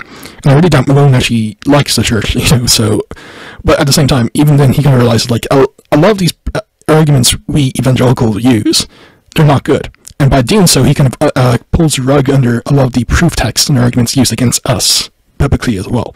Mm. So it's a great book. I'm going to quote a bit of it, so uh, just bear with me, but I think it's worth the uh, wait. So he argues in the first and last chapters of this letter, 1 Timothy, so 1 Timothy 117, 616, Paul breaks into the praise of the King, eternal, immortal, invisible, the only God, who lives in unapproachable light, whom no one has seen nor can see. Once again, the New Testament seems to teach that God cannot be seen and thus has not been seen. Case closed? This may be a way of praising God's excellence without fully defining him as never seen, never mortal, and so on. Thus, we need to determine whether Paul is praising God this way because God is unique in all these respects, or whether Paul is using this idiom as part of his rhetoric without intending these claims to be taken as absolutes. So this is like uh, he argues this is hyperbolic language; it should not be taken um, absolutely, as in you ignore the entire context, or he's saying only the person the Father is invisible, or only the person is immortal. Long story short, reading these as absolute claims creates many different difficulties than if we see them as a way of exalting God with superlative idioms basically exaggerations. Consider the problems if we insist that Paul is being completely definitive. The word only recurs several times in these doxologies, and doxology is basically a praise, you know, a glorification okay. or praise of someone. Uh, praising the only God, the only ruler, the King of Kings, Lord of Lords, who alone or only is immortal. We have to uh, presume that Paul is describing God the Father. If the Son is addressed in any way, a new dilemma is created with the Son himself praises invisible. But then it's the Father who is the only ruler. Common sense tells us that the word only, the term monos in uh, Greek, is being used in a special way, not least because there are other human rulers named in Scripture. Moreover, the last book of the Bible says it's the resurrected Lamb, God the Son, Jesus, who is the King of Kings and Lord of Lords. And what does it mean that the Father is the only one who has immortality? Have we just denied the immortality of the Son and the Spirit? Paul teaches elsewhere that our own mortal oh, bodies yeah, will look forward to immortality and the imperishable. Yeah, exactly. Yeah. The same terms that belong only the Father, according to 1 Timothy, do not always clear in English translations. And he ends with this, and this is pages 161 to 62. Rather, words like only must have a relative sense. God is being contrasted with any potential rival and protected from any comparison. Paul affirms four truths about God's sovereign power, four ways in which he is altogether beyond human control or manipulation.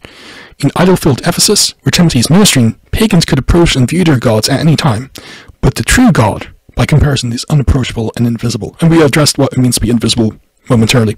Again, we're dealing with relative language. As in the Old Testament and John's Gospel, Paul's emphasizing that our God cannot just be tracked down on a human whim. The Old and New Testaments affirming that God can be approached through Jesus. Relatively speaking, God is unapproachable. Relatively speaking, he is the only one who controls immortality.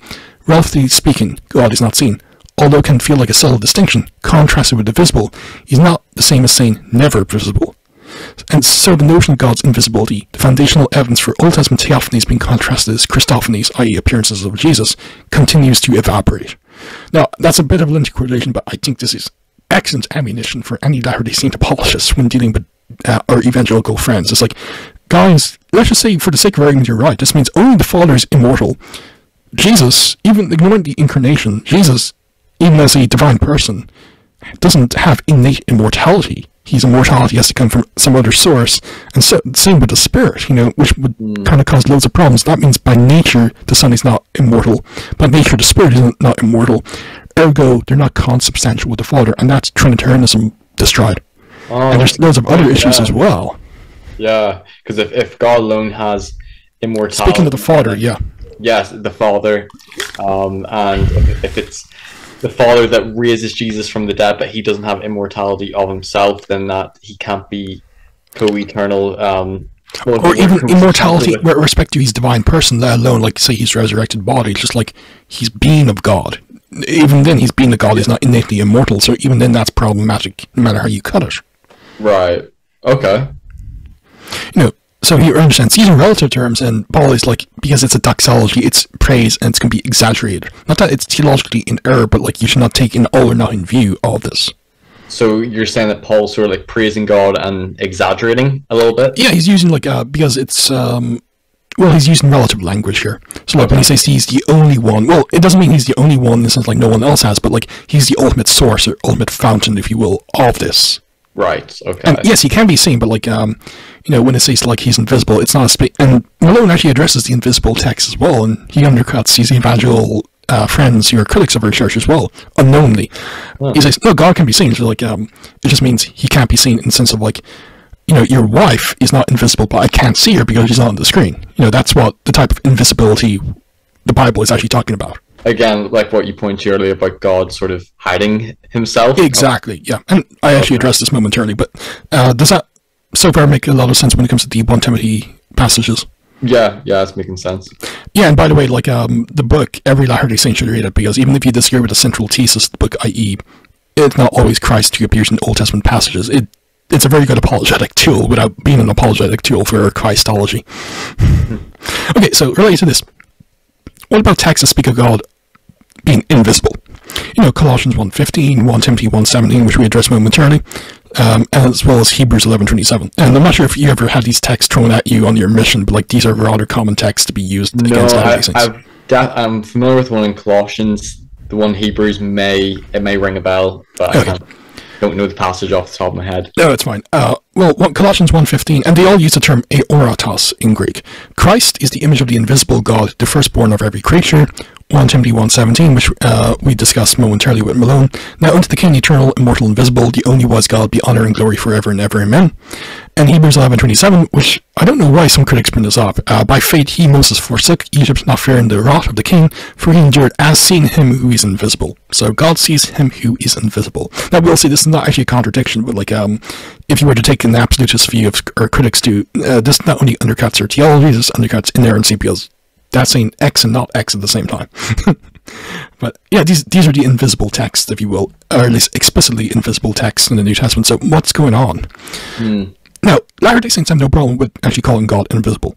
Uh, for instance, Brigham Young, who had a very anthropomorphic concept of deity, especially in light of the Adam God doctrine, which maybe we might discuss in the future once I'm finished with a uh, project about that. Yeah. In a sermon from March 21st, 1858, uh, he actually refers to the Lord Jehovah as our invisible leader. So like, Latter-day Saints have no problem with calling God invisible, but how we would nuance it, I would argue the biblical authors would nuance it and understand it is, God by nature is not invisible. He just cannot be seen, and that's the difference. Again, to use the analogy, Yeah. for instance, you have a wife, but she to me is invisible, or aoratos. Not that by nature she is invisible, but she just can't be seen because you know she's hiding herself from the camera. You know that that's Yeah. that's the analogy. That's af- that uh, is a very very good explanation as to what aoratos or invisible in the Greek means. Okay. And this is not just like me as I already saying with my bias here.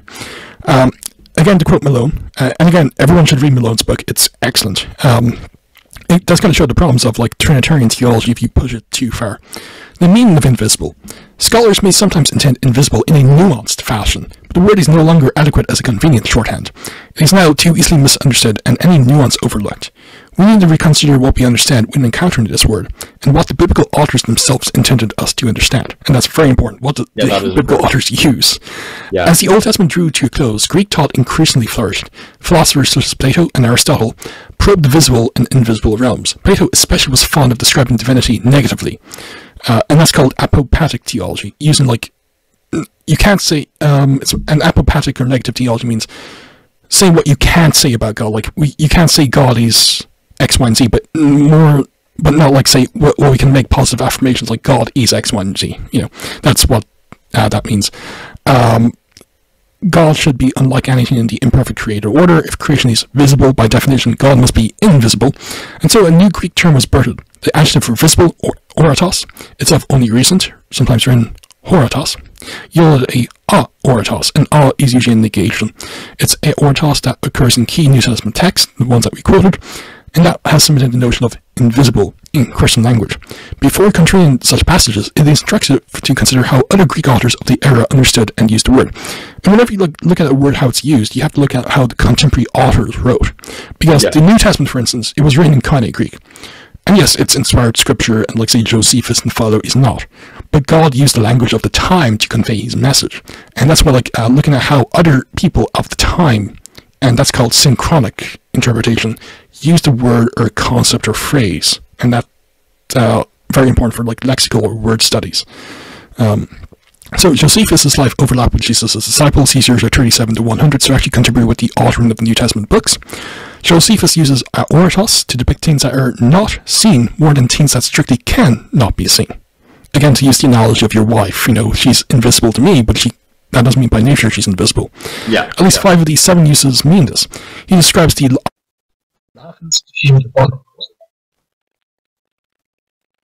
So I think your sound's gone, Robert. Can you hear me now? Yes, yeah, I can hear you now. Okay, that's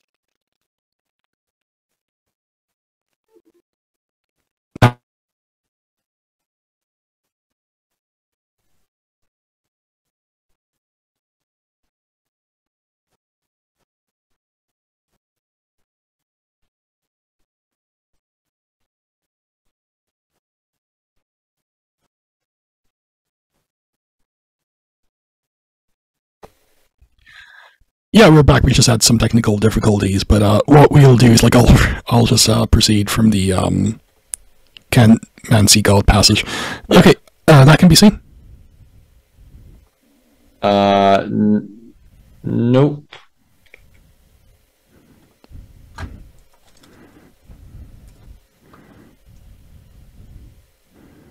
Yes, yeah, Uh, yeah, technology it works whenever you don't want it to. Uh, yeah, Yeah. Okay. Uh, where was I? Oh yeah. Uh, well, we were discussing like how Josephus used the term aoratos, so like its use of a um, a cave at the bottom of a well, the deep valleys around the fortress Mesa of Masada. You know, things actually do have form and shape. You know, it just can't be seen. Only once does he describe something that's intrinsically invisible, the human soul, which remains invisible to human eyes, just as God himself. This application, including mention of God, is important, but the early uses of aoratos confirms only that something is unseen. It does not explain why that object is uh, cannot be viewed. Now, this same sense is attested by other contemporary author Plutarch. Soul and divine forces are invisible, especially when he echoes forebears such as Plato and Aristotle. Yet Plutarch also uses the word for tangible items hidden from view. He writes of captive women who have been cloistered from men, um, you know, how they're incommunicado and invisible to others. He describes war catapults and signal fires strategically stationed be invisible to the enemies. The Greek word aoratos has the broader sense in and the English translation invisible may be too narrow or misunderstood. So we have this evangelical Protestant who's a Trinitarian by theology saying, lads, uh, when we describe God as invisible, it doesn't mean what you think it means, you know, to borrow from Princess Bride.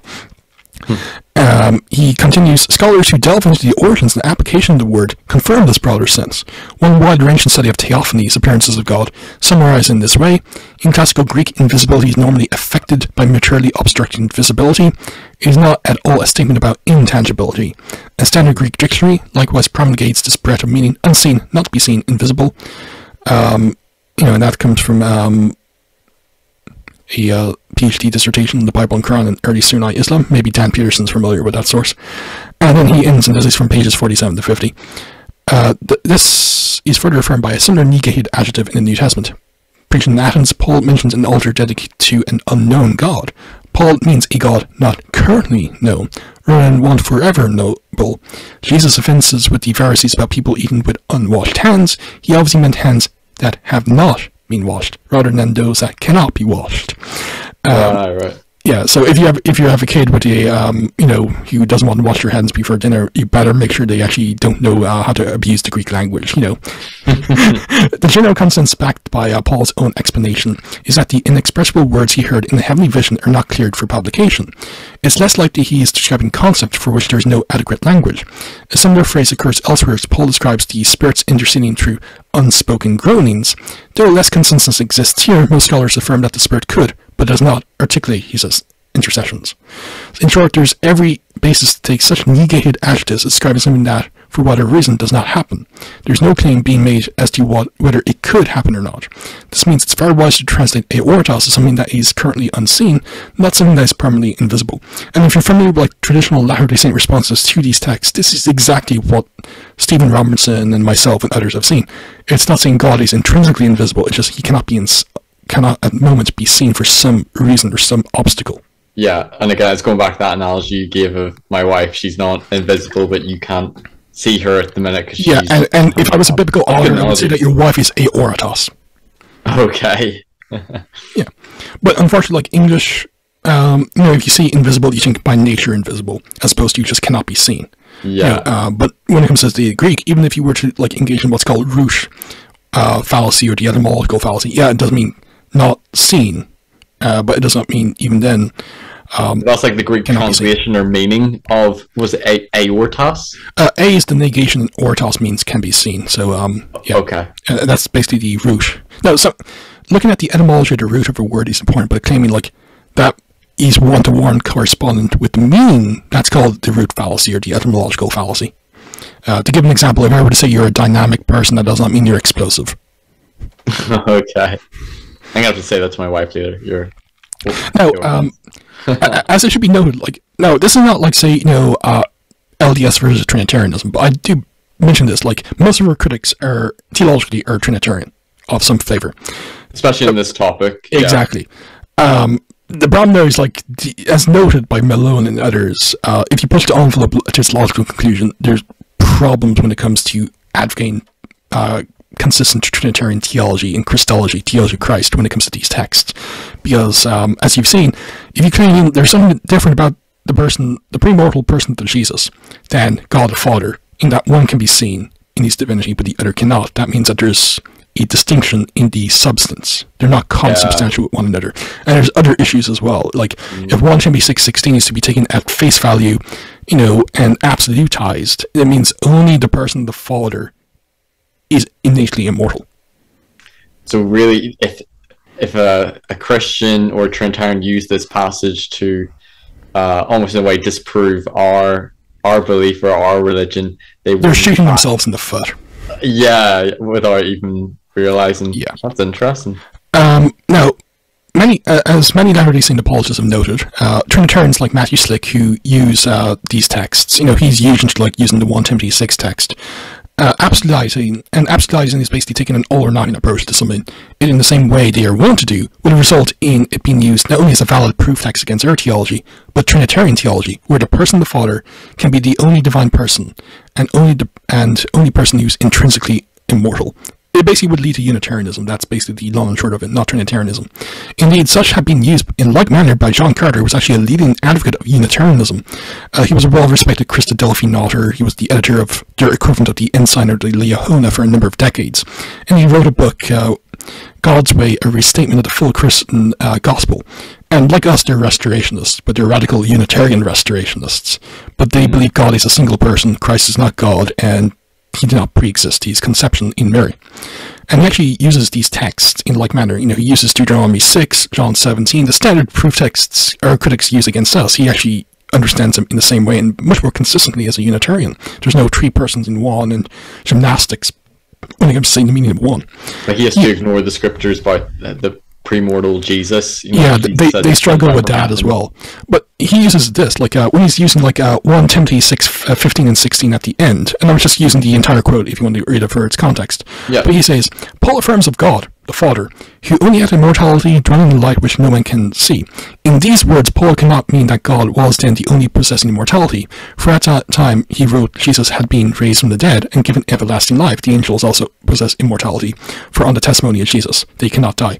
Christadelphians don't believe in satanic or fallen angels, so they only believe only good angels exist. They don't believe in Satan and demons uh, in the traditional sense, but that's that's the nuance here. But both angels and Jesus have received their immortality from God. So, yeah, Jesus at this time he's immortal, but he's received. He's not intrinsically immortal. Yeah. You know, he has immortality. And now the Father alone has immortality inherently. It is, however, for the purpose of the gospel invite men to become heirs of this life. Peter says that God has given us exceeding great and precious promises, that by these we might become partakers of the divine nature, and, and escape the corruption that is in the world through lust. Uh, a common text we use for our doctrine of theosis or deification. So, I'll let people read the uh, quote in full, but uh, here you have a Unitarian, a very strict Unitarian, uh, who doesn't even believe in a supernatural saint or a demon, um, actually arguing, well, th- this text, if you were to look at it and all in nine view, would actually result in a Unitarian, not a Trinitarian theology, because Jesus is not either in his being or in his person, however you want to, uh, well, in his essential nature of God, if you will, or in his uh, person as the God man, is intrinsically immortal. He's only immortal, not simply in terms of his body or his humanity, but intrinsically immortal in all senses, only by God, giving him immortality. He's dependent upon the Father uh, for immortality. Am I right? I think th- there's scriptures that say that Jesus was like raised by like the power of God or raised Yeah. by God. Maybe like in the Book of Acts, there's things that that. So that sort of implies that it was, you know, Yeah, it was God God who resurrected him and so Mhm. forth. No, we, no, Latter-day Saint theology has a way to answer that while holding like a very high view of Christ and a high view of man. yeah. Um, but, but- you're saying that it sort of would invalidate the the Trinity in that sense. It, holding the same assumptions and presuppositions, it results in Unitarianism. Yeah. Okay. And my friend Chris Davis, who I think you've had some interactions with as well, uh, special shout out to you, uh, Chris, a great guy. He noted the following about the Christological problems caused by Trinitarians who claim the Father cannot be seen. Not that he has never been seen, but he cannot be seen. But that the divine person appeared in the Old Testament theophanies, which predate Christ becoming mortal and taking on humanity in flesh, was the pre-mortal Jesus. Uh, this ultimately puts LDS critics, at least who are Trinitarian, uh, who uses this in their toolbox of arguments in a very shaky Christological ground. Think of it this way: I'm going to give three statements. One cannot accept one can accept two of them, but accepting the third leads to contradiction. So it's like you can have two, but you can't have three. One, Christ is Jesus is God. Two, Jesus is seen by man. Three, man, not can, man, not, man cannot see God. Because think of it way: if you go, Jesus is God, Jesus is seen by man. Uh, that means man can see God. You can't see man cannot see God. Or Right. Jesus is seen by man, man cannot see God, then you're basically a Socinian or an Arian. You don't believe Jesus is, is God in the same way as the Father is. So he says, you Because take even one and. Trinitarians, they would view that um, Jesus was both fully man and fully God. And, but they would argue he was the one person. In their view, and you see this in Ephesus in 431 and Chalcedon in 451, the third and fourth ecumenical councils most Protestants accept. Although Jesus has two separate natures and two separate worlds, he's one single person. That's against Nestorianism and Eutychianism. It's it's a bit of a technical debate, but if you want me on to discuss, like, say, conciliar theology and Christology and stuff like that, I would love to discuss that with you. But in their view, although he has these two different natures and they're distinct, there's no overlap. He's still a single person even after the incarnation. Uh, Okay. it's, it's, it's called the hypostatic union. Uh, that's the technical term. So, if you take one and three, Jesus is a God, man cannot see God, they deny that Jesus was truly human, and basically profess the heresy of Docetism. And Docetism is the idea like Jesus appeared human, but he was never, but that was only a deception. Uh, he was never truly human. It's like the uh, the poem about like say you know uh, one uh, set of footprints in the sand, you know, and it's not because uh, sand people from Star Wars likes to work in single file to uh, hide their numbers. It's because Jesus was not truly human. You know, he only appeared to have suffered, he only appeared to have died, but he never actually did because uh, becoming enfleshed, he's like evil to the Docetists and the Gnostics, and even John condemns it as Antichrist in uh, 1 John 4. So, if you take 2 and 3, Jesus is seen by man. Man cannot see God to profess the heresy of Arianism, which was condemned at Nicaea 1, by denying Christ's divinity or that he is of the same substance as the Father. And they don't want to choose 1 and 2, Jesus is God, Jesus is seen by man, because that's the LDS perspective. So, it's like, um, if you want to use these texts and you want to argue with these presuppositions, if you're consistent, you're shooting yourselves in the foot, lads. Right. Now, I'm not saying this means ergo man can see God, but like because many of our critics are Trinitarians, these are things you they at least Malone, although I don't know how much he knows about the church, he kind of recognizes there's problems anyway, even outside the Mormon versus Trinitarian debate. But when it comes to these, even if you, even if you are a Trinitarian, you have to admit like uh, a lot of the presuppositions and stuff like that. It's really faulty. So either uh, admit uh, Trinitarianism is false and become Unitarian, or at the very least realize like a lot of these arguments against Saint Christology and Joseph Smith are on very precarious grounds, and if you're consistent, you would have to abandon not just Saint claims, but even tr- many Trinitarian formulations of Christ and humanity and so forth. Right. Okay. Cool. So uh, we'll move on to like um, D&C 84, 21 to 22. Mm-hmm. So, but uh, so far, like uh, a lot I has made sense so far.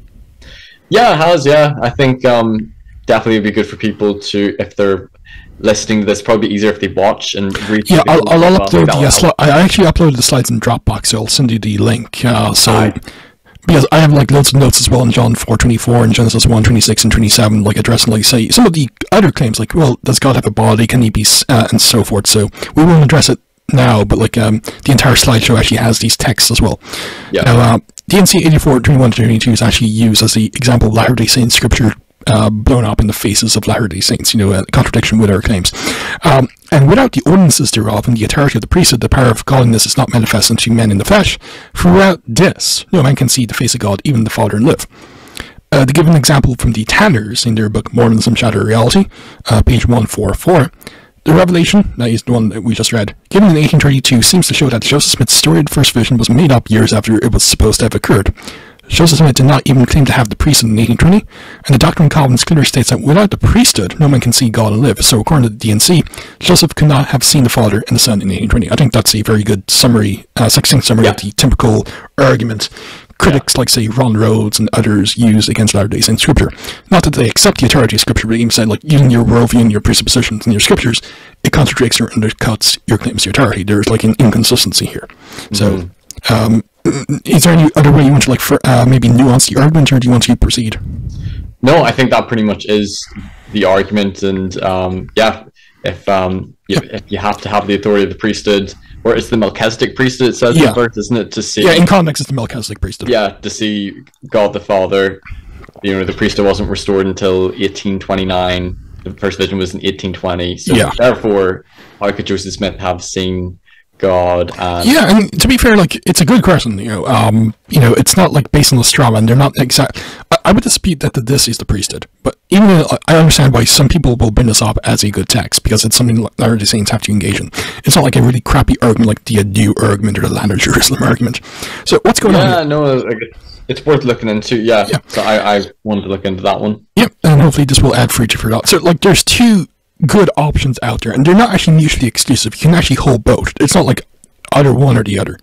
You know, Right. So the one option, and this is the popular option, is this can be answered with the assumption that this, the demonstrative, refers to priesthood, with Joseph Smith being in the pre-mortal existence actually ordained to the priesthood. Uh, now this is common. Uh, John Taylor in the John Taylor Papers received a revelation. It's not canonized, but it's in the John Paper, uh, John Taylor Papers. Try saying that three times fast in the Church History Library, and this is a transcription that John Tvedtnes produced, and he's. Uh, it's an underrated book, but it's an excellent book. Uh, it's unheard of in many circles. Organized My Kingdom. Uh, John was like an Asian Near Eastern scholar, did a lot of great work in the Book of Mormon. He actually wrote a very good history of the uh, priesthood. Um, so if anyone wants a good, if now in lot of JS papers, slightly dated book on the priesthood and the development offices, this is actually a good one. But this is what um, John Taylor wrote in uh, Revelation, June 27th, so the anniversary of martyrdom, 1882. Behold, I raise up my servant Joseph to introduce my gospel and to build up my church and establish my kingdom on earth. I have unto him wisdom and knowledge and revelation and intelligence pertaining to the past, the present, and the future, even to that extent which was not known among men. And I endowed him with power from on high and conferred upon him the priest of Aaron and also of Melchizedek, which is after the order of the Son of God, even the holiest of all, and after all the power of an endless life and administered forever in the world and the world to come. He was called and ordained to this office before the world was. He was called by me and empowered by me and sustained by me to introduce and establish my church and kingdom upon the earth, and to be a prophet, seer, and revelator to my church and kingdom, and to be a ruler over Israel. So, according to this text, which I know it's not canonical, but it's part of the uh, John Taylor's uh, revelations, and it kind of indicates at least a um, understanding of Joseph in his pre-mortal condition. Joseph was actually ordained and confirmed, uh, had the priesthood confirmed upon them in the pre-existence. So, And this Uh, is different to foreordination, like being like him sort of. yeah, so it wasn't simply like him being foreordained to a call, and he actually had the Was priesthood confirmed upon him as well. Yeah. So maybe what now somebody say, well, why then was he ordained? You know, in the hereafter? That that would probably have been like when the power and authority of the priesthood was actualized or energized, if you will. You know, the on button was turned on, if you will. But he had the he had the matter, the material of the priesthood. So according to John Taylor, you know, he actually received the priesthood in the premortal existence, and he, he wasn't simply foreordained; he was set apart and confirmed and so forth in the premortal existence. You know, and um, Joseph himself did teach that every man who has a calling to minister to the inhabitants of the world. And this is not every single calling. I've seen loads of LDS think like every single calling, and every single uh, word has been ordained. No, it's only to those who administer to the world, like on the global level. Uh, was ordained to that very purpose in the Grand Council of Heaven before the world was. I suppose uh, that I was ordained to this very office in that Grand Council, and that's the discourse, uh, 12th of May, 1844, in the handwriting of Thomas Bullock. And you also have this idea of like foreordination in Abraham 3, 22 to 24.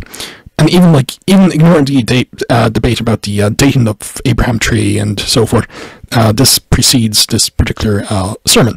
So the idea, like say, ordination and foreordination and so forth, and even conferral priesthood in the pre-existence is not necessarily like a um, modern apologetic apply. It's actually common in the 19th century. I'm not going to quote this. Uh, this is Orson Pratt in the sermon October 10th, 1880. He said something very similar. So for those who want to read it, I'll let you pause. Yeah, it's a long quote. yeah.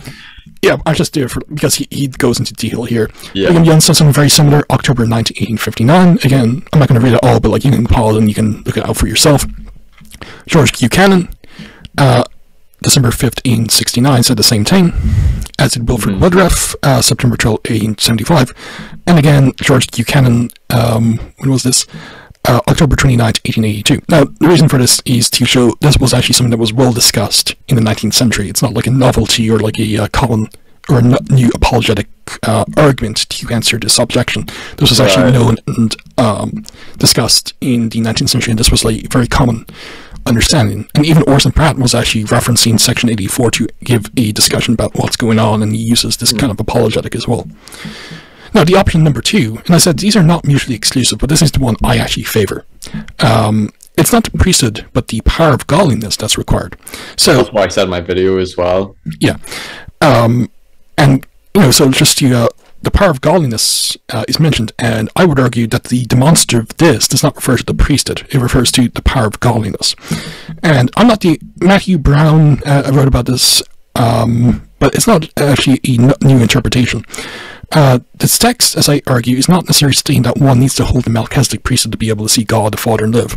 Instead, it is speaking about the power of godliness. As Joseph Smith, like many ancient prophets, was protected by the Holy Spirit, he could endure the presence of the Father. And then there's the text, like section 67, verse 11 For no, man has seen God any time in the flesh, except, because, uh, except he quickened by the Spirit of God, not because he holds the priesthood. Also, Moses 1, 2, and 11, the very same thing, and Moses saw God face to face, and he talked with him, and the glory of God was upon Moses, therefore Mos- Moses could endure his presence. But now mine eyes, Moses, have beheld God, but not my natural, but my spiritual eyes. So, again, this harkens back to what we were discussing when it comes to John as well. For my natural eyes cannot have beheld, for I should have withered and died in his presence, but his glory was upon me, and I beheld his face, for I was transfigured before him. And of course, JST Exodus 3320 that we read uh, at the start of this presentation that harmonizes what's going on when it comes to that text in the King James. Yeah, so that interpretation of um, D&C 84 that that fits in with the other scripture passages that it's it's to do with um, the power of godliness being transfigured. You know, Exactly. God's Spirit quickening you. Um, it's not about having the Melchizedek priesthood. Yeah. Uh, Willard A. Aston in 1956, so this is like decades ago, uh, teaching the gospel by prayer and testimony. It's basically like a, uh, an, not really an apologetic book, but it's like more like a handbook for like missionaries and others sharing the gospel. It's in this context. Joseph Smith's declaration that he saw God is true and convincing. We mentioned the Stephen story, Act 7, in connection with the first vision. This is done deliberately to prepare the mind of the investigator to remind him that such visions have occurred, were it not for the fact that it also happens to explain the Godhead, its use would not be justified. Some will say, but the Bible says no man can see God and live. To which the missionary should reply, You are entirely correct, Mr. Tanner. In his kernel stage, no man can see God. This is why God must temporarily change those who behold him and continue with the lesson. So this is like a, uh, an interpretation. Now, of course, he's not addressing Section 84. I know that. But the idea, the assumptions are here as well. And this is from 1956. And Joseph Fielding McConkie, who was the son of Bruce McConkie, and like his father was um, often very uh, black and white and very um, rigid. Yeah. Um, he was also a Friends Mission president uh, in Scotland. Oh, he okay. wrote a uh, he wrote a book, Answers, Straightforward Answers to Tough Gospel Questions, uh, page 147 from 1998. And he actually holds to this interpretation as well. Commenting on these verses, some have suggested that holding the priesthood is a requisite of seeing God. That such an interpretation was not intended is evident from the verses that follow. Now this Moses plainly taught to the children of Israel in the wilderness, and sought diligently to sanctify his people, that they might behold the face of God. But they hardened their hearts and could not endure his presence. Therefore the Lord in his wrath, for his anger was kindled against him, swore that they should not enter into his rest, while in the wilderness, which rest is the fullness of his glory. Therefore he took Moses out of their midst in the holy priesthood, and that's verses 23 to 25. And then he offers this commentary. Moses was not speaking to sanctify only the men any more than he intended to lead the men, without the wives and children, into the promised land. All were to be sanctified so that men, women, and children could stand in the presence of their God, and all were to journey together in the land promised to them. The story typifies the whole system of salvation and our, and our sojourn in mortality. We make the journey to our land a promise eternal life as families. All must be sanctified, for no unclean thing can enter the divine presence. There is no suggestion here that men alone are to be saved or that they alone are to enjoy the blessings of obedience to sacred ordinances. Those blessings take on meaning only as husband and wife stand side by side and then are surrounded by their posterity.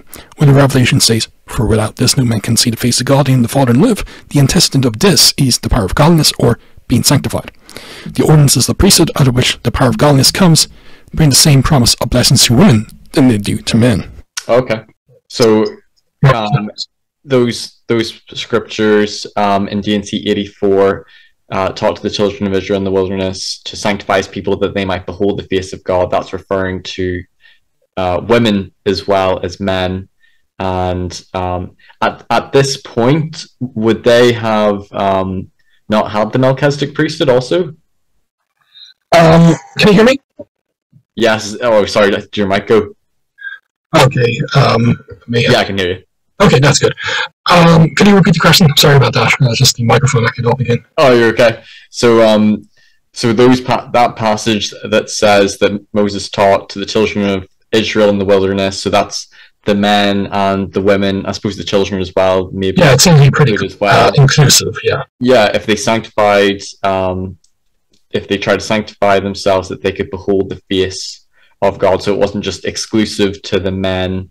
So it, therefore, you don't need the Melchizedek priesthood to see God. And at that stage, was the Melchizedek priesthood withdrawn? At- well, it says in section 84 it was taken away, but we do know that there was like some people who did have it. So how to harmonize what that says with the rest of the uh, scriptures is that it was only there in very limited uh, numbers. Oh, okay the main priesthood, because of their disobedience, was the Aaronic or Levitical priesthood.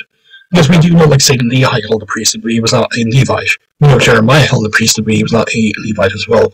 So there was always, like, a line of people, in some way or another, for whatever reason, held a different priesthood. And we would say that was the Melchizedek. Oh, right, even though they weren't from the tribe of Levi. Okay, yeah, because. Uh, for instance, like, uh, Moses' father-in-law is referred to as a priest, and if he's the technical term, a Kohen um, not some, uh, not a Komer, which is often not always or often used for an idolatrous or false priest. Use the term Kohen, which is actually the same term for Melchizedek.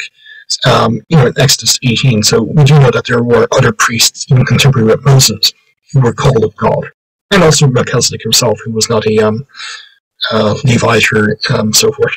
Okay. And we also there were other priests as well, like Jeremiah, uh, David uh, engaged in priestly activity, as did Solomon in the um, temple with they weren't uh, priests of Aaron. So.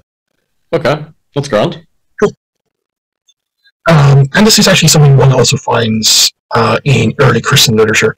Uh, there's what's called the Pseudo-Clementine homilies. It claims to be written by Clement of Rome, the author of 1 Clement, but it wasn't. But, um, at the same time, scholars believe this is like just before Nicaea, so 300 to 320. For I maintain that the eyes of mortals cannot see the incorporeal form of the Father or Son, because it is illumined by exceeding great light. For he who sees God cannot live. For the excess of light dissolves the flesh of him who sees. Unless by the secret power of God the flesh can be changed into nature light, so that it can see light. Again, this is something that is pretty harmonious with what we have when it comes to just its revelations and theology mm. of uh, God. And as you would also argue, he considered understanding what the Bible, when taken as a whole, says about the issue as well. Also makes me think of the scripture in Timothy about the unapproachable light, and then saying that it, the excess of the light will dissolve the flesh of him who sees as well. Unless, of course, there's a special barrier or some kind of intervention. Yeah. Yeah. Okay. Uh, now, this is a text. I've only seen one other Latter-day Saint apologist appeal to, but it's a rather interesting text. It's a Coptic text just before the fifth century. So yeah, it's late, but it's still um, it captures the same train of thought that you find in uniquely Latter-day Saint scripture. This is from the Berlin-Strasbourg Apocryphon in chapter seven. Um, Three days shall I take you to heaven with me to instruct you about the things that you desire to see, so do not be disturbed when you see me. This is Jesus speaking.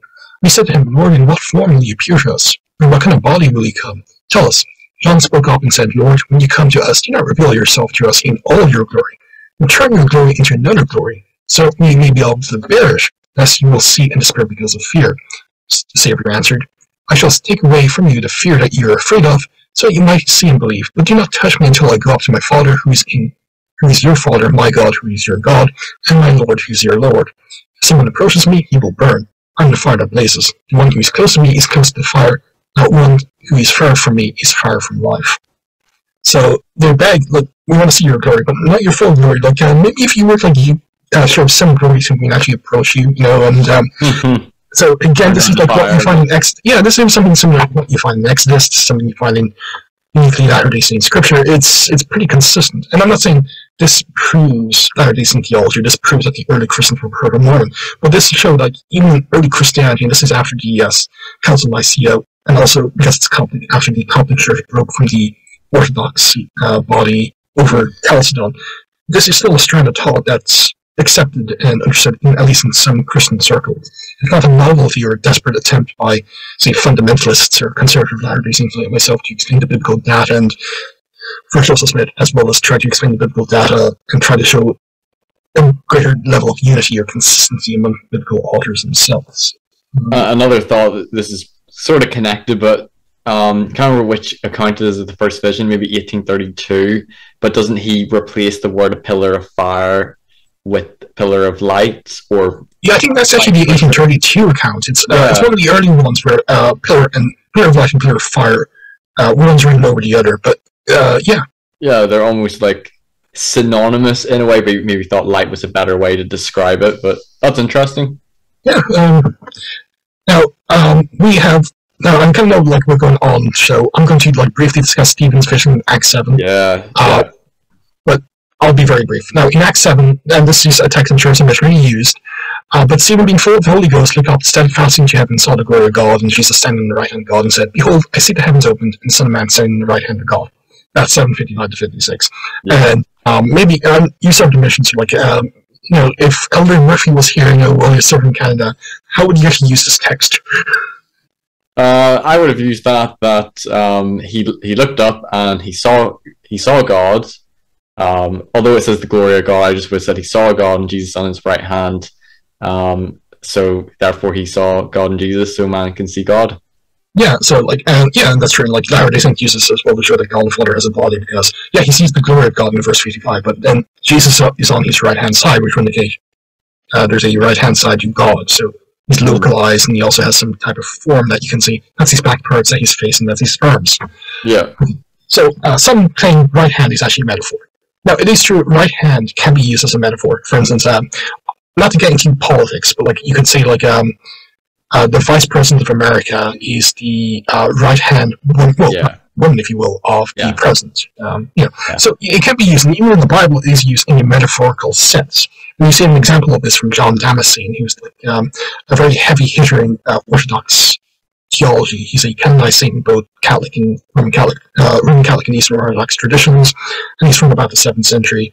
And if you ever study, like, say, that era, especially like the development of icon veneration, you'll come across him. Um, he's a uh, very important figure, and you see an example of this. I won't read it, but you can pause it and read it of an early, well, late uh, Christian using this uh, in a metaphorical sense.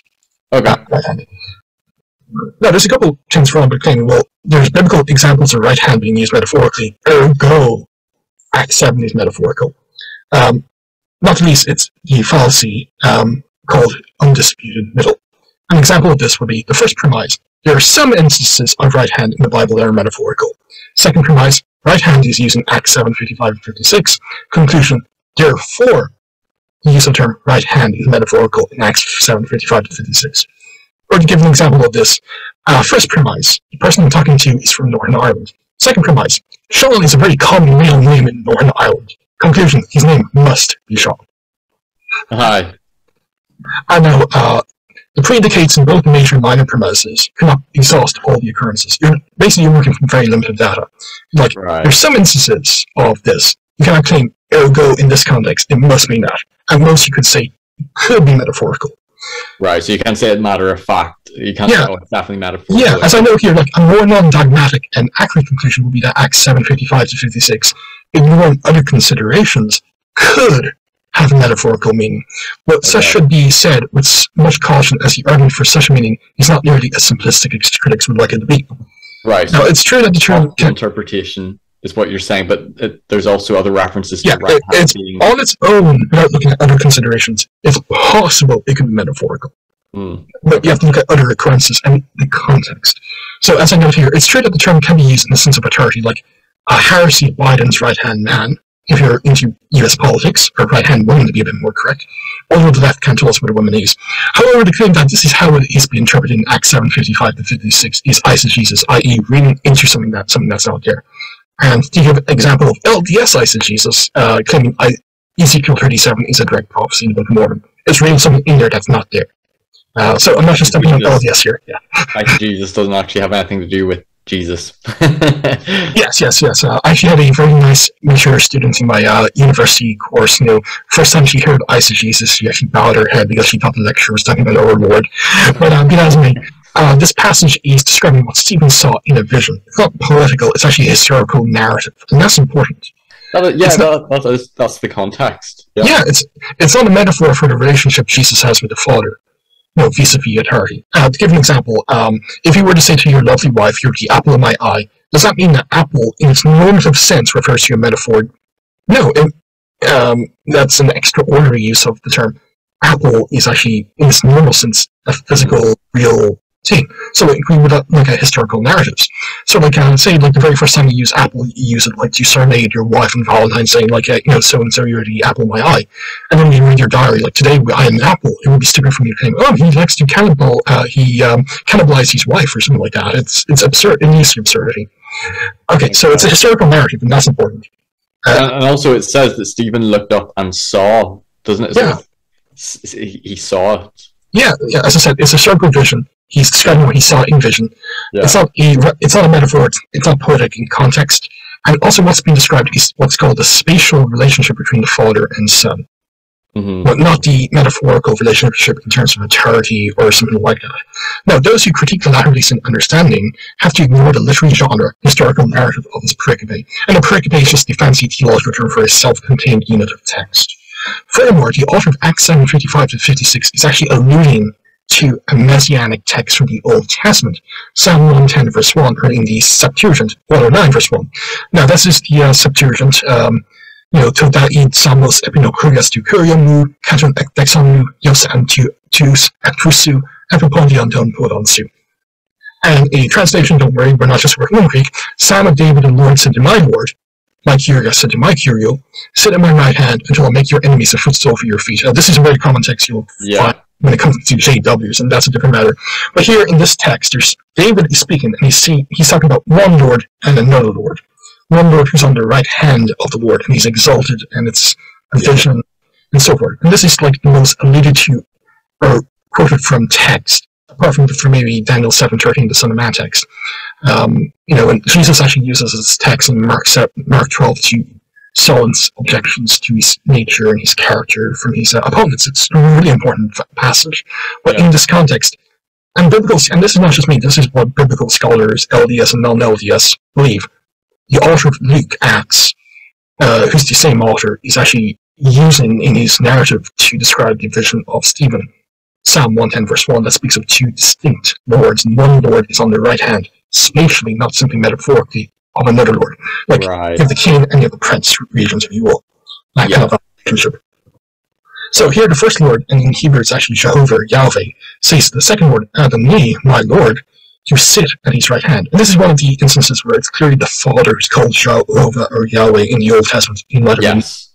uh, the only meaningful and exegetically interpretively sound interpretation of this verse is that the second word is seen on the right hand of God. It's not metaphorical.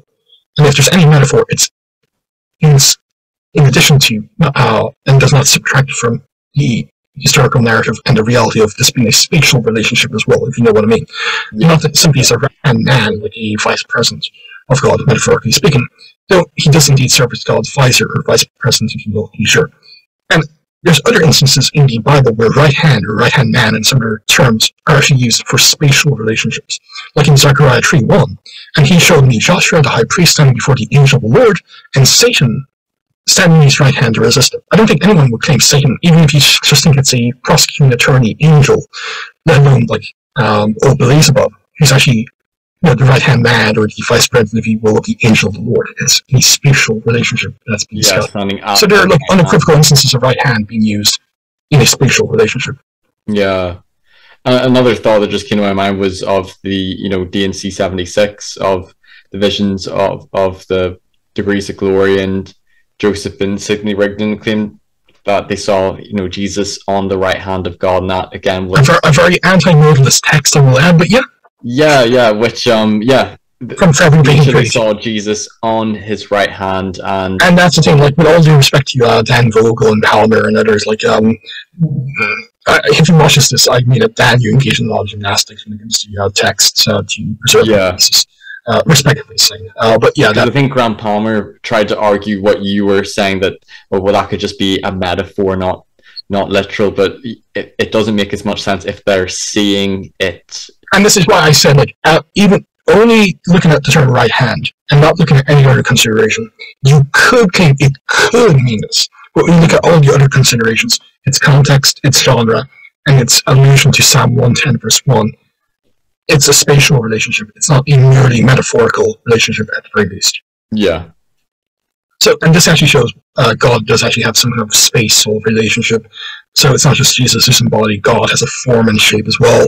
But also, Stephen saw him, not simply only his glory.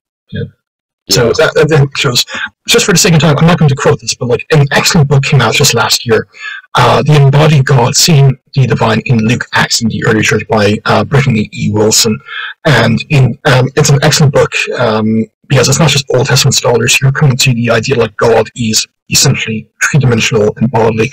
A growing number of New Testament scholars are actually coming to the same conclusions uh, as well.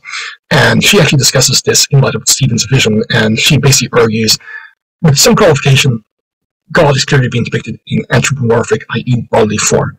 Um, it's not simply like um, any metaphor or anything like that. And a lot of people go through these slides. You can download them, you can look at them. Um, and she does say there, there is some ambiguity, but like for instance, she claims Daniel seven thirteen, but also compare Psalm one ten verse one as well. This is one of the key texts to understand what's going on here in this uh, vision. And there's other texts as well that actually say God can be seen, even in what's called the intertestamental period. One Enoch, uh, you know, in chapter 14, verses 15 to 25, that she referenced as well. And uh, this will be about uh, the second century BC to the first century AD, so something very contemporary with the uh, New Testament. In fact, Jude, the half brother of Jesus, in his book um, of the New Testament, actually quotes from one Enoch. So the biblical authors, at least, were familiar with and sometimes even conversant with this particular book uh, and fragments of which were also found at Qumran, the Dead Sea Scroll community as well. And there's other texts as well. This is a commentary on the same passage for those who want to delve more into it. But further reading, when it comes to say the nature of God having three-dimensional form and bodily form, I've read a lot about this uh, for something that's free online. Lynn Walder versus Latter-day Saint in Biblical Theology and Divine Embodiment. I go through all the relevant texts, like Genesis 1, 3, 6 to 27, that let us make man in their image text. Hebrews 1, 3, that says that Christ is the um, same Obligasma uh, as the Father and so forth. You know, John 4.24, the uh, God is a spirit text and other related texts as well. So, And also in these... I have the check out. Yeah. And also the appendix on these slides, uh, I have material on John 4.24 and Luke 24.29. I'm just going to flip through it, kind of go into detail about what's going on. But also John Day, who I referenced earlier on Hosea and the Baal cult in uh, Elohim, he's written two excellent essays and two books on Genesis 1 to 11 he basically comes to the same conclusions that Latter-day Saints do when it comes to the interpretation of Genesis 1. It's treat the image and likeness is not merely metaphorical. It's not merely like that of man's domain over uh, animal creation and so forth. It's actually God, man being in the same image, three-dimensionally as God, which means Yeah. God, according to the author of this past particular text, is embodied, has body form, and he's three-dimensional. And he goes through like the Hebrew and stuff like that. Some of which he's here, and some of which I reproduce on my blog post. So uh, yeah, uh, that's the that's the underside. I know it's been very lengthy and a lot of uh, new information, but uh, I hope research in there.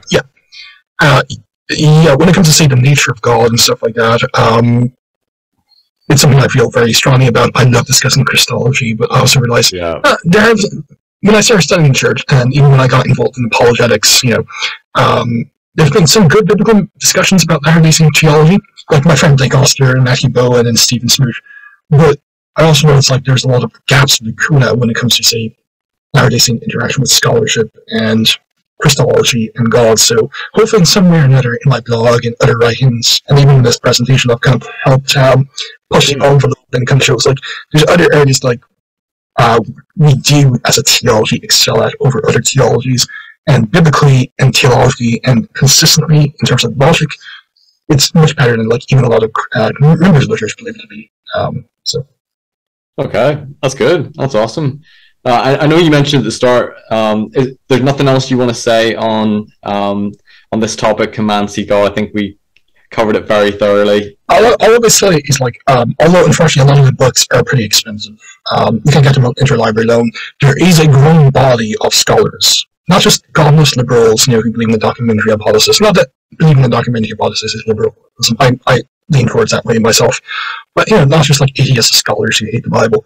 There's a growing level of scholarship uh, from all perspectives that are coming to realize that the earliest, or they call primitive, understandings of God in the Bible is that of an anthropomorphic deity. And yeah. that God can be seen with qualifications and so forth. So this is an area where at the very least, when it comes to saying the nature of God, the counsel of God, and even Christology, and I would love to discuss Christology with you sometime and other things like that, and the pros and cons of Trinitarian and other theologies.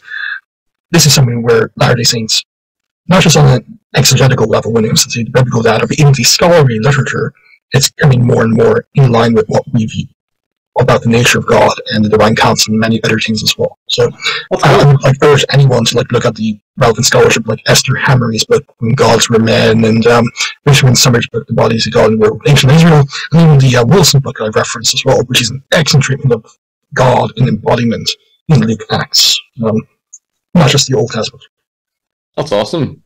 Yeah, we'll definitely make sure that we put a lot of, like links in the description uh, of what we went through. I know you said at the start that you wanted to um, touch on sort of linking to our modalism discussion, uh, the lectures on faith. Um, yeah, I have like maybe like 10 slides. I'd be very brief. But, uh, yeah, yeah, let's do it. Um, this is sort of in response to Dan Vogel, if I'm correct. You just want to. Uh, that is correct. Um, can you see the slides?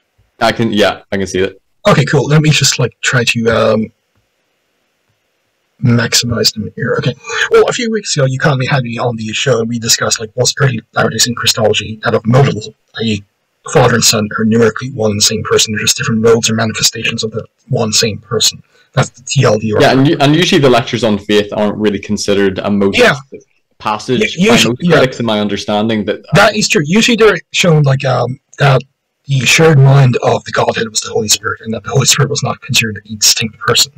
Is bi-Trinitarianism? Is that the correct? Bi- binitarianism. Um, binitary. Okay. Binitarianism. Yeah. Um, my friend uh, Josh Gailey, he's a member of the. They're called the Bickertonites, but you know the Church of Jesus Christ. Um, they would actually appeal to this to show that early Latter-day Saint Christology, at least uh, the Rigdonite flavor, was binitarian, and they're actually binitarian themselves. Um, we actually had a very nice discussion about his theology, which was informed not in full, but uh, in part by Rigdon and his theology and so forth. So if you want to look at binitarian is pretty much similar to Trinitarian, but bi is in two. Just yeah, yeah. Usually they don't believe in the personality of the Holy Spirit, and if they do that, he's a lesser deity. But The typical binitarian view is like the Father and Son are divine persons, but they would believe they would have a very Unitarian understanding of the Holy Spirit, not a person, but very personal God's activity spiritually and so on and so forth. You know, okay. There's different flavors of that, but that would be like the basic gist of binitarianism.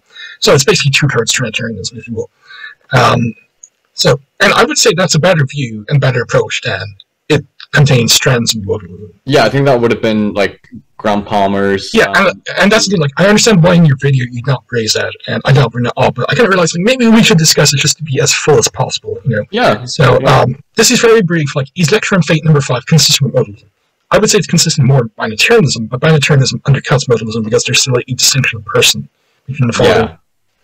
Yeah, they're quite different.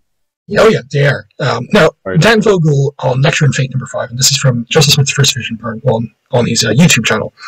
However, while the lecture, i.e., number five, describes the Son as a personage of flesh, it nevertheless fails to define the person, the Son, as a person. So notice, yeah, uh, he tries to make a distinction between personage and person in terms of meaning, distinct right. from the Father, and therefore it may only be a variation of modalism, albeit one that would allow for the simultaneous appearance of the Father and Son.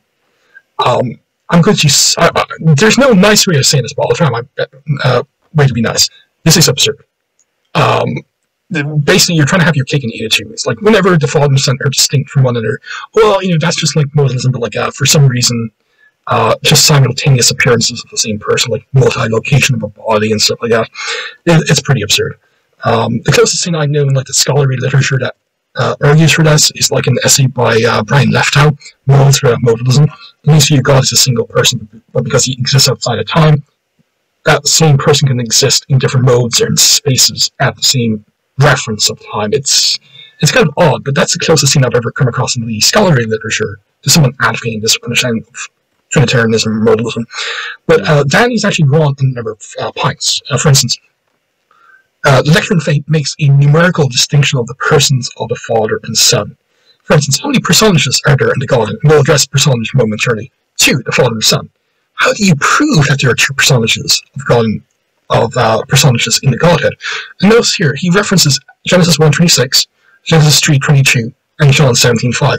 All make a distinction of person between the Father and Son. Genesis 1.26, which is not quoted here, is like, Let's make man in our image and in our likeness, plural pronouns in the English translation. Then references Moses, which is a reworking of Genesis 1.26, and the Lord God said unto the only begotten who was with him from the beginning, so two different persons, but one was with the other, not that one was the other or a different manifestation of the other. Let us make man in our image, after our likeness, again, plural pronouns, plural persons, and it was done. Genesis 3.22, And the Lord God said unto the only begotten, Behold, a man is become as one of us, to know good and evil. And this is like Moses, but like a reworking as well.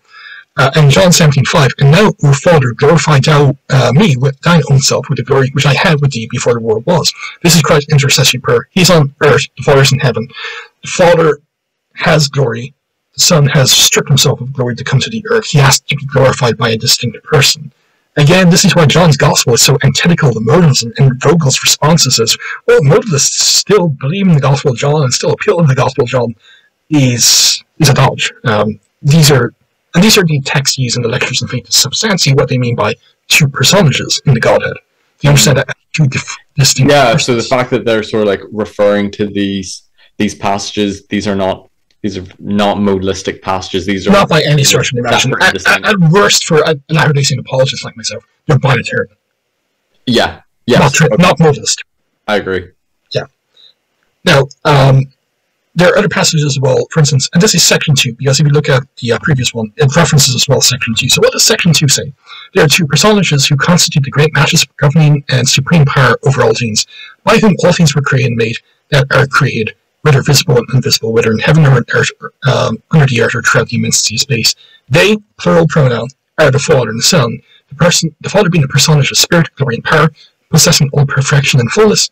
The Son, who was in the bosom of the Father, the personage of tabernacle made or fashioned like unto man, or being in the form and likeness of man, or rather, man was formed after his likeness and his image.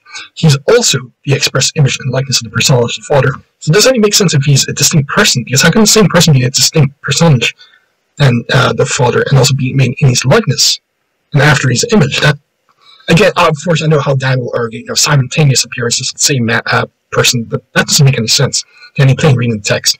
He is also the express image and likeness of the person, the Father, personage of the Father, I should say, possessing all the fullness of the Father, or the same fullness with the Father, being begotten of him, and was ordained before the foundation of the world to be a propitiation for the sins of all those who should believe on his name.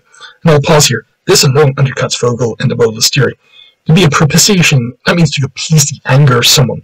Jesus appeases the anger, not of himself, but of the Father in his atonement and his intercession.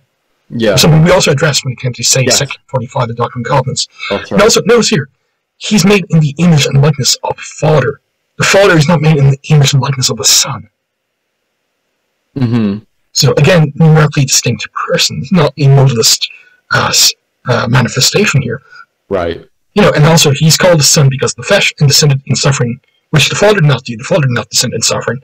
Uh, appeals to Moses, Mosiah 15, notwithstanding, that which man can suffer under worlds, suffered great sufferings and was exposed to more powerful contradictions than any man can be. But in saying all this, he kept the law of God and remained without sin. And know, some will think, well, you know, Faith 5 says that the Father and Son share the same mind. So that means that they're the same person. However, in this very same lecture. No, it does. It does say they share the same mind. That's true. However, isn't, isn't, the Holy Ghost is it referred to as the mind of God in the yeah, yeah. as well? Yeah, that's true. Like, here's the thing: glorified Christians are also said to actually be partakers and to share the same mind of the Father and Son when they're glorified, which would indicate, unless you're saying the thing, everyone will become a manifestation of God, and God is going to be like billions or trillions of people, well, uh, modes in one person. This is not what this is not a modalist teaching, because all who believe on His name and keep His commandments, and all those who keep His commandments shall grow up from grace to grace and become heirs of the heavenly kingdom, joint heirs of Christ, possessing the same mind, Yeah. being transformed in the same image or likeness, even the express image of Him who fills all in all, being filled with the fullness of His glory, and become one in Him, even as the Father, Son, and Holy Spirit are one. So, if one appeals to the same mind text, uh, one will have to, if they're consistent claim, what this means in their, in, at least in the theology lecture in Faith 5, everyone will become united in the singular person of God and become God manifestations in a modalist understanding, which is absurd. Uh, it's yeah. father and son sharing the same mind is not modalism. It, Okay. Read in context.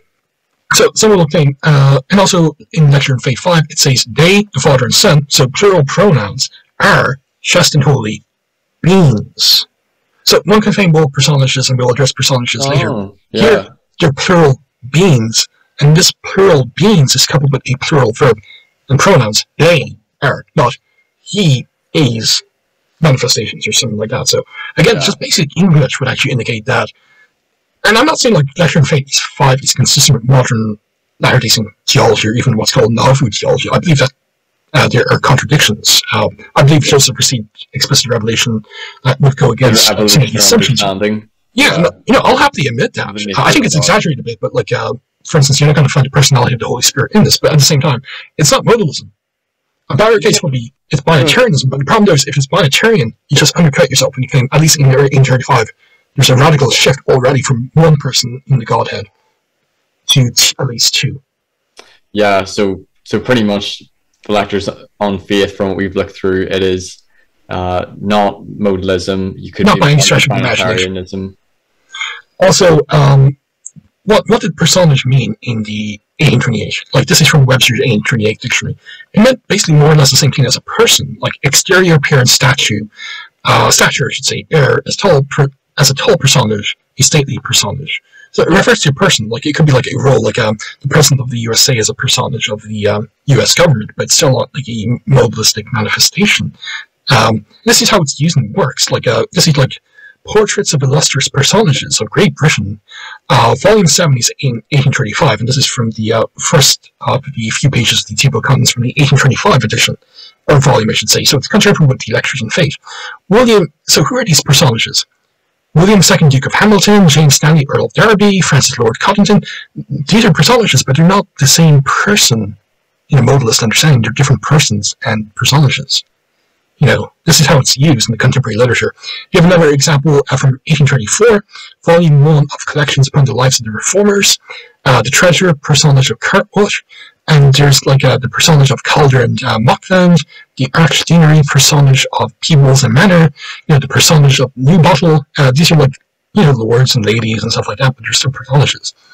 Does that mean like uh, this particular person actually understood or could be understood as teaching that these are the same, numerically the one same person, but just different modalist manifestations of the same person? It's absurd.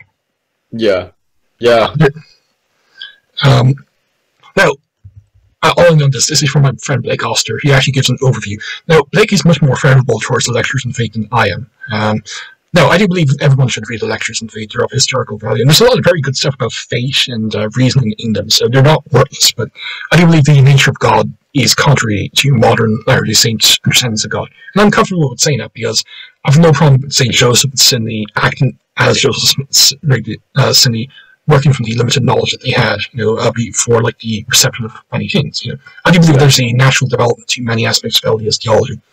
Uh, but you know, the lectures of faith are still important. So this is from um, volume one of these uh, four volumes, hopefully soon to be five, exploring Mormon thought series uh, called the Attributes of God. The lectures also establish the Father, Son, and Holy Ghost are one Godhead, constitute the great matchless governing and supreme power over all things, by whom all things were created and made. 5.2, which we quoted a bit more fuller previously.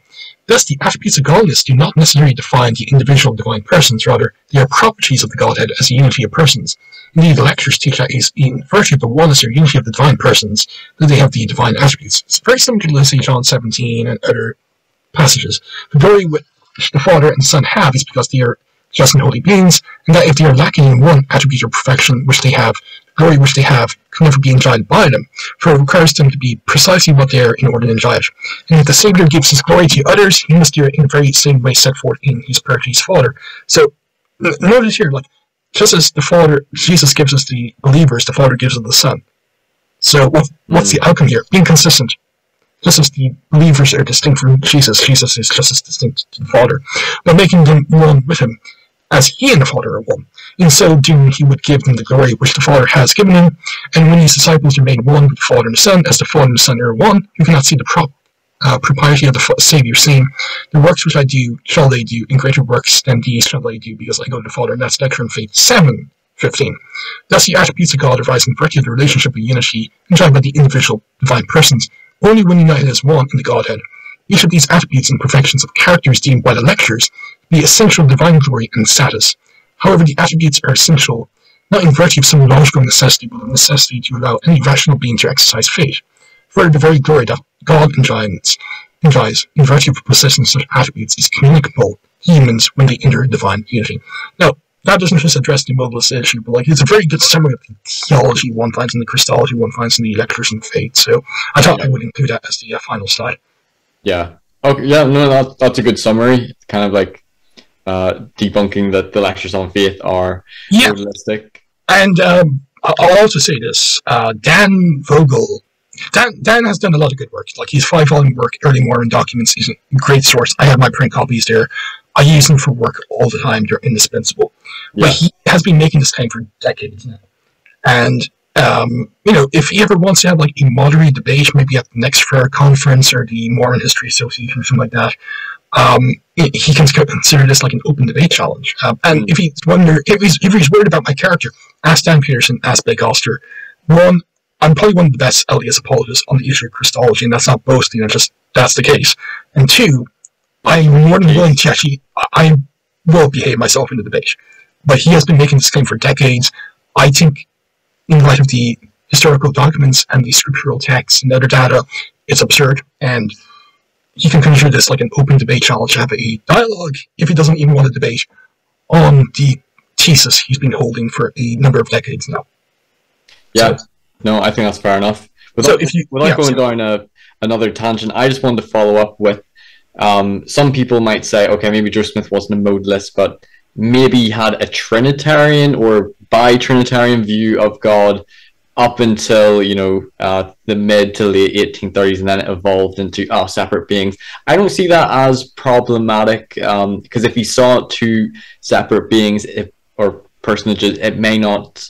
He may have not thought that inconsistent with um, the Trinity. But what's your sort of take on that? Because whenever I quoted a lot of those scriptures, um, I did a separate video, and some people said, "Well, it still not necessarily disproves the Trinity. And I was like, yeah, I guess they're kind of right because it doesn't explicitly say separate beings, separate gods, so to speak. Well, actually, in the Book of Mormon, it references God the Father as a being and stuff like that, like in Mormon's Lament in the Book of Mormon, the small case Book of Mormon, and mm-hmm. everything as well. And sometimes the Father is called God. And yeah. see the distinction from, like, say, Jesus and so forth, and that's actually inconsistent with the Trinity. Um, yeah, my friend Stephen, my, my friend Stephen Smith has a paper, and he's actually going to be expanding upon it at the next, I think the next in the Sperry Symposium.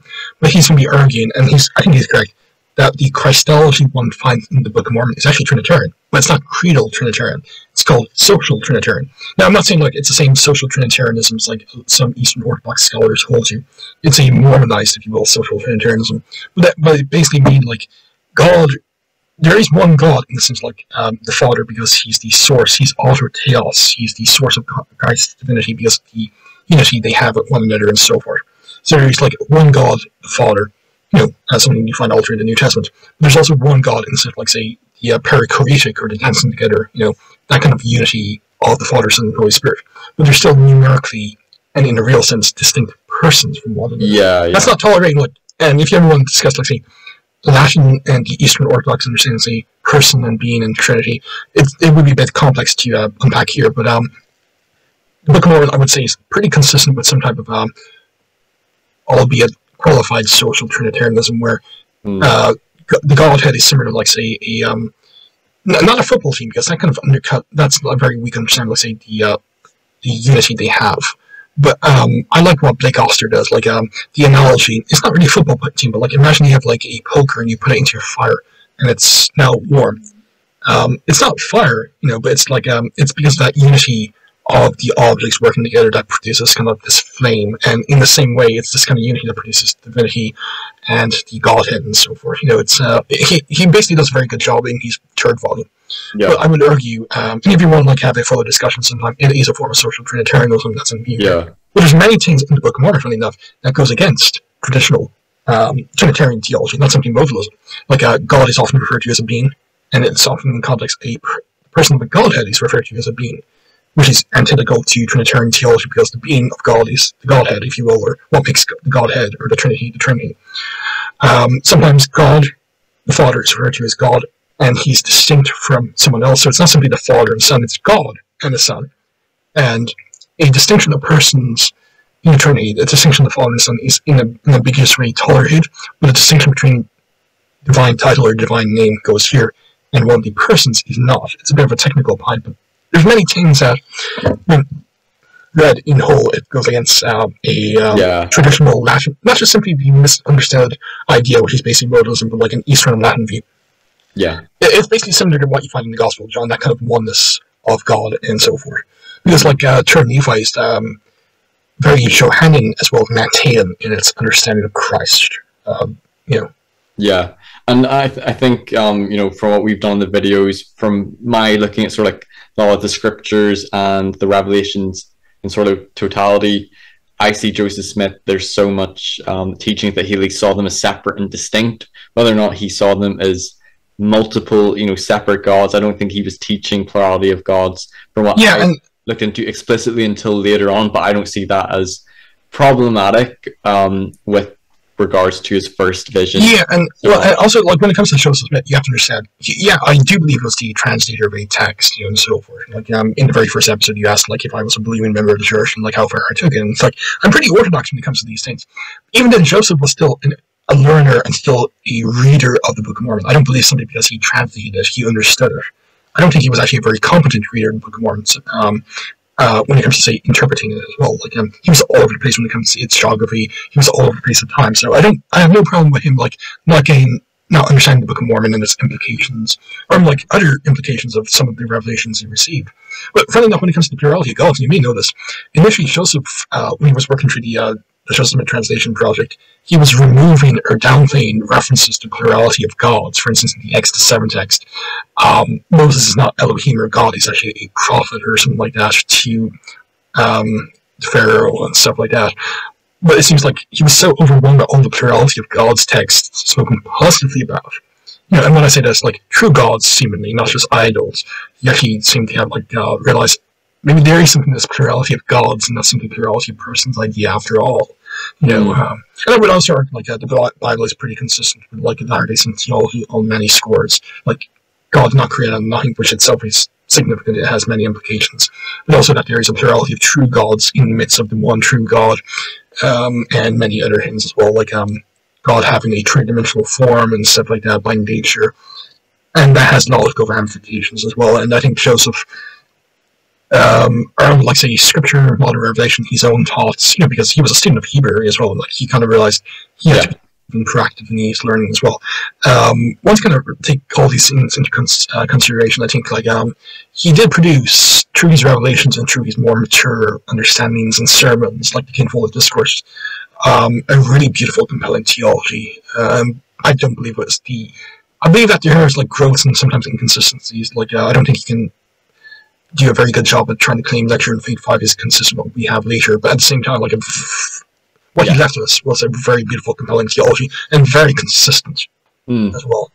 Yeah, you could never that understood it. further light knowledge and revelation and line upon line, greater uh, understanding of just the nature of God. Uh, I, I think it's much more uh, compelling and even consistent historically speaking theology than many critics believe it to be, but what Joseph left us with uh, is a very consistent, coherent, and really compelling theology. about like the nature of man, and the nature of Christ. Uh, one thing I love is like, um, especially when I've been doing studies in say Unitarianism historically in modern times as well, it's like um, usually the debate is like you result with either a very high Christology and a very low view of man and a very low anthropology, or vice versa. But for us, we can actually have both a high Christology and a high view of man, even after the fall. So we can actually have both a high Christology and a high anthropology. So we have the best of worlds without having to engage in the gymnastics the other groups believing when it to say subordination to the Father, subordination to the Son to the Father, or at the same time the pre-existence of Jesus. Yeah. So it's uh, it's it's a really good. Um, we're, we're in a much better position than even. We can harmonize. We can almost have both. Yeah, we, we can have both. Yeah. Okay, that's awesome. Right. Well, it's been really good uh, discussion and interview looking at Can man see God and looking through all the texts. So. Uh, thanks so much for, for doing this, Robert. Thanks everyone for you know watching uh, this interview. If you've enjoyed it, you know like, uh, share, and subscribe. Go check out Robert's uh, YouTube channel, Scriptural Mormonism, um, and his blog as well. I'll put the link in the description. Um, subscribe to his channel, check out the work he's doing, check out his blog. Um, you have a PayPal as well, don't you? They can uh, yeah, I have a PayPal as well. You via yeah, I'll put the link in the description as well. And if you enjoy this, just like, share, and subscribe to my channel, Mormonism with the Murph. And if you care to donate to me, you can to my PayPal, stephen.murphy1996 at outlook.com and we'll probably do another video very soon on First Vision. Where we look at other aspects, so that'll be coming your way. Okay. Yeah, that, that would be a uh, fun um, that would be a fun discussion. So hopefully we can do that um, either before or just after I um, leave for America. Yes, yeah. Try to get that sorted. Good luck with all that. Anyway. Appreciate it. Thanks. Yeah. Thanks, Robert. Thanks everyone. Take care. Bye.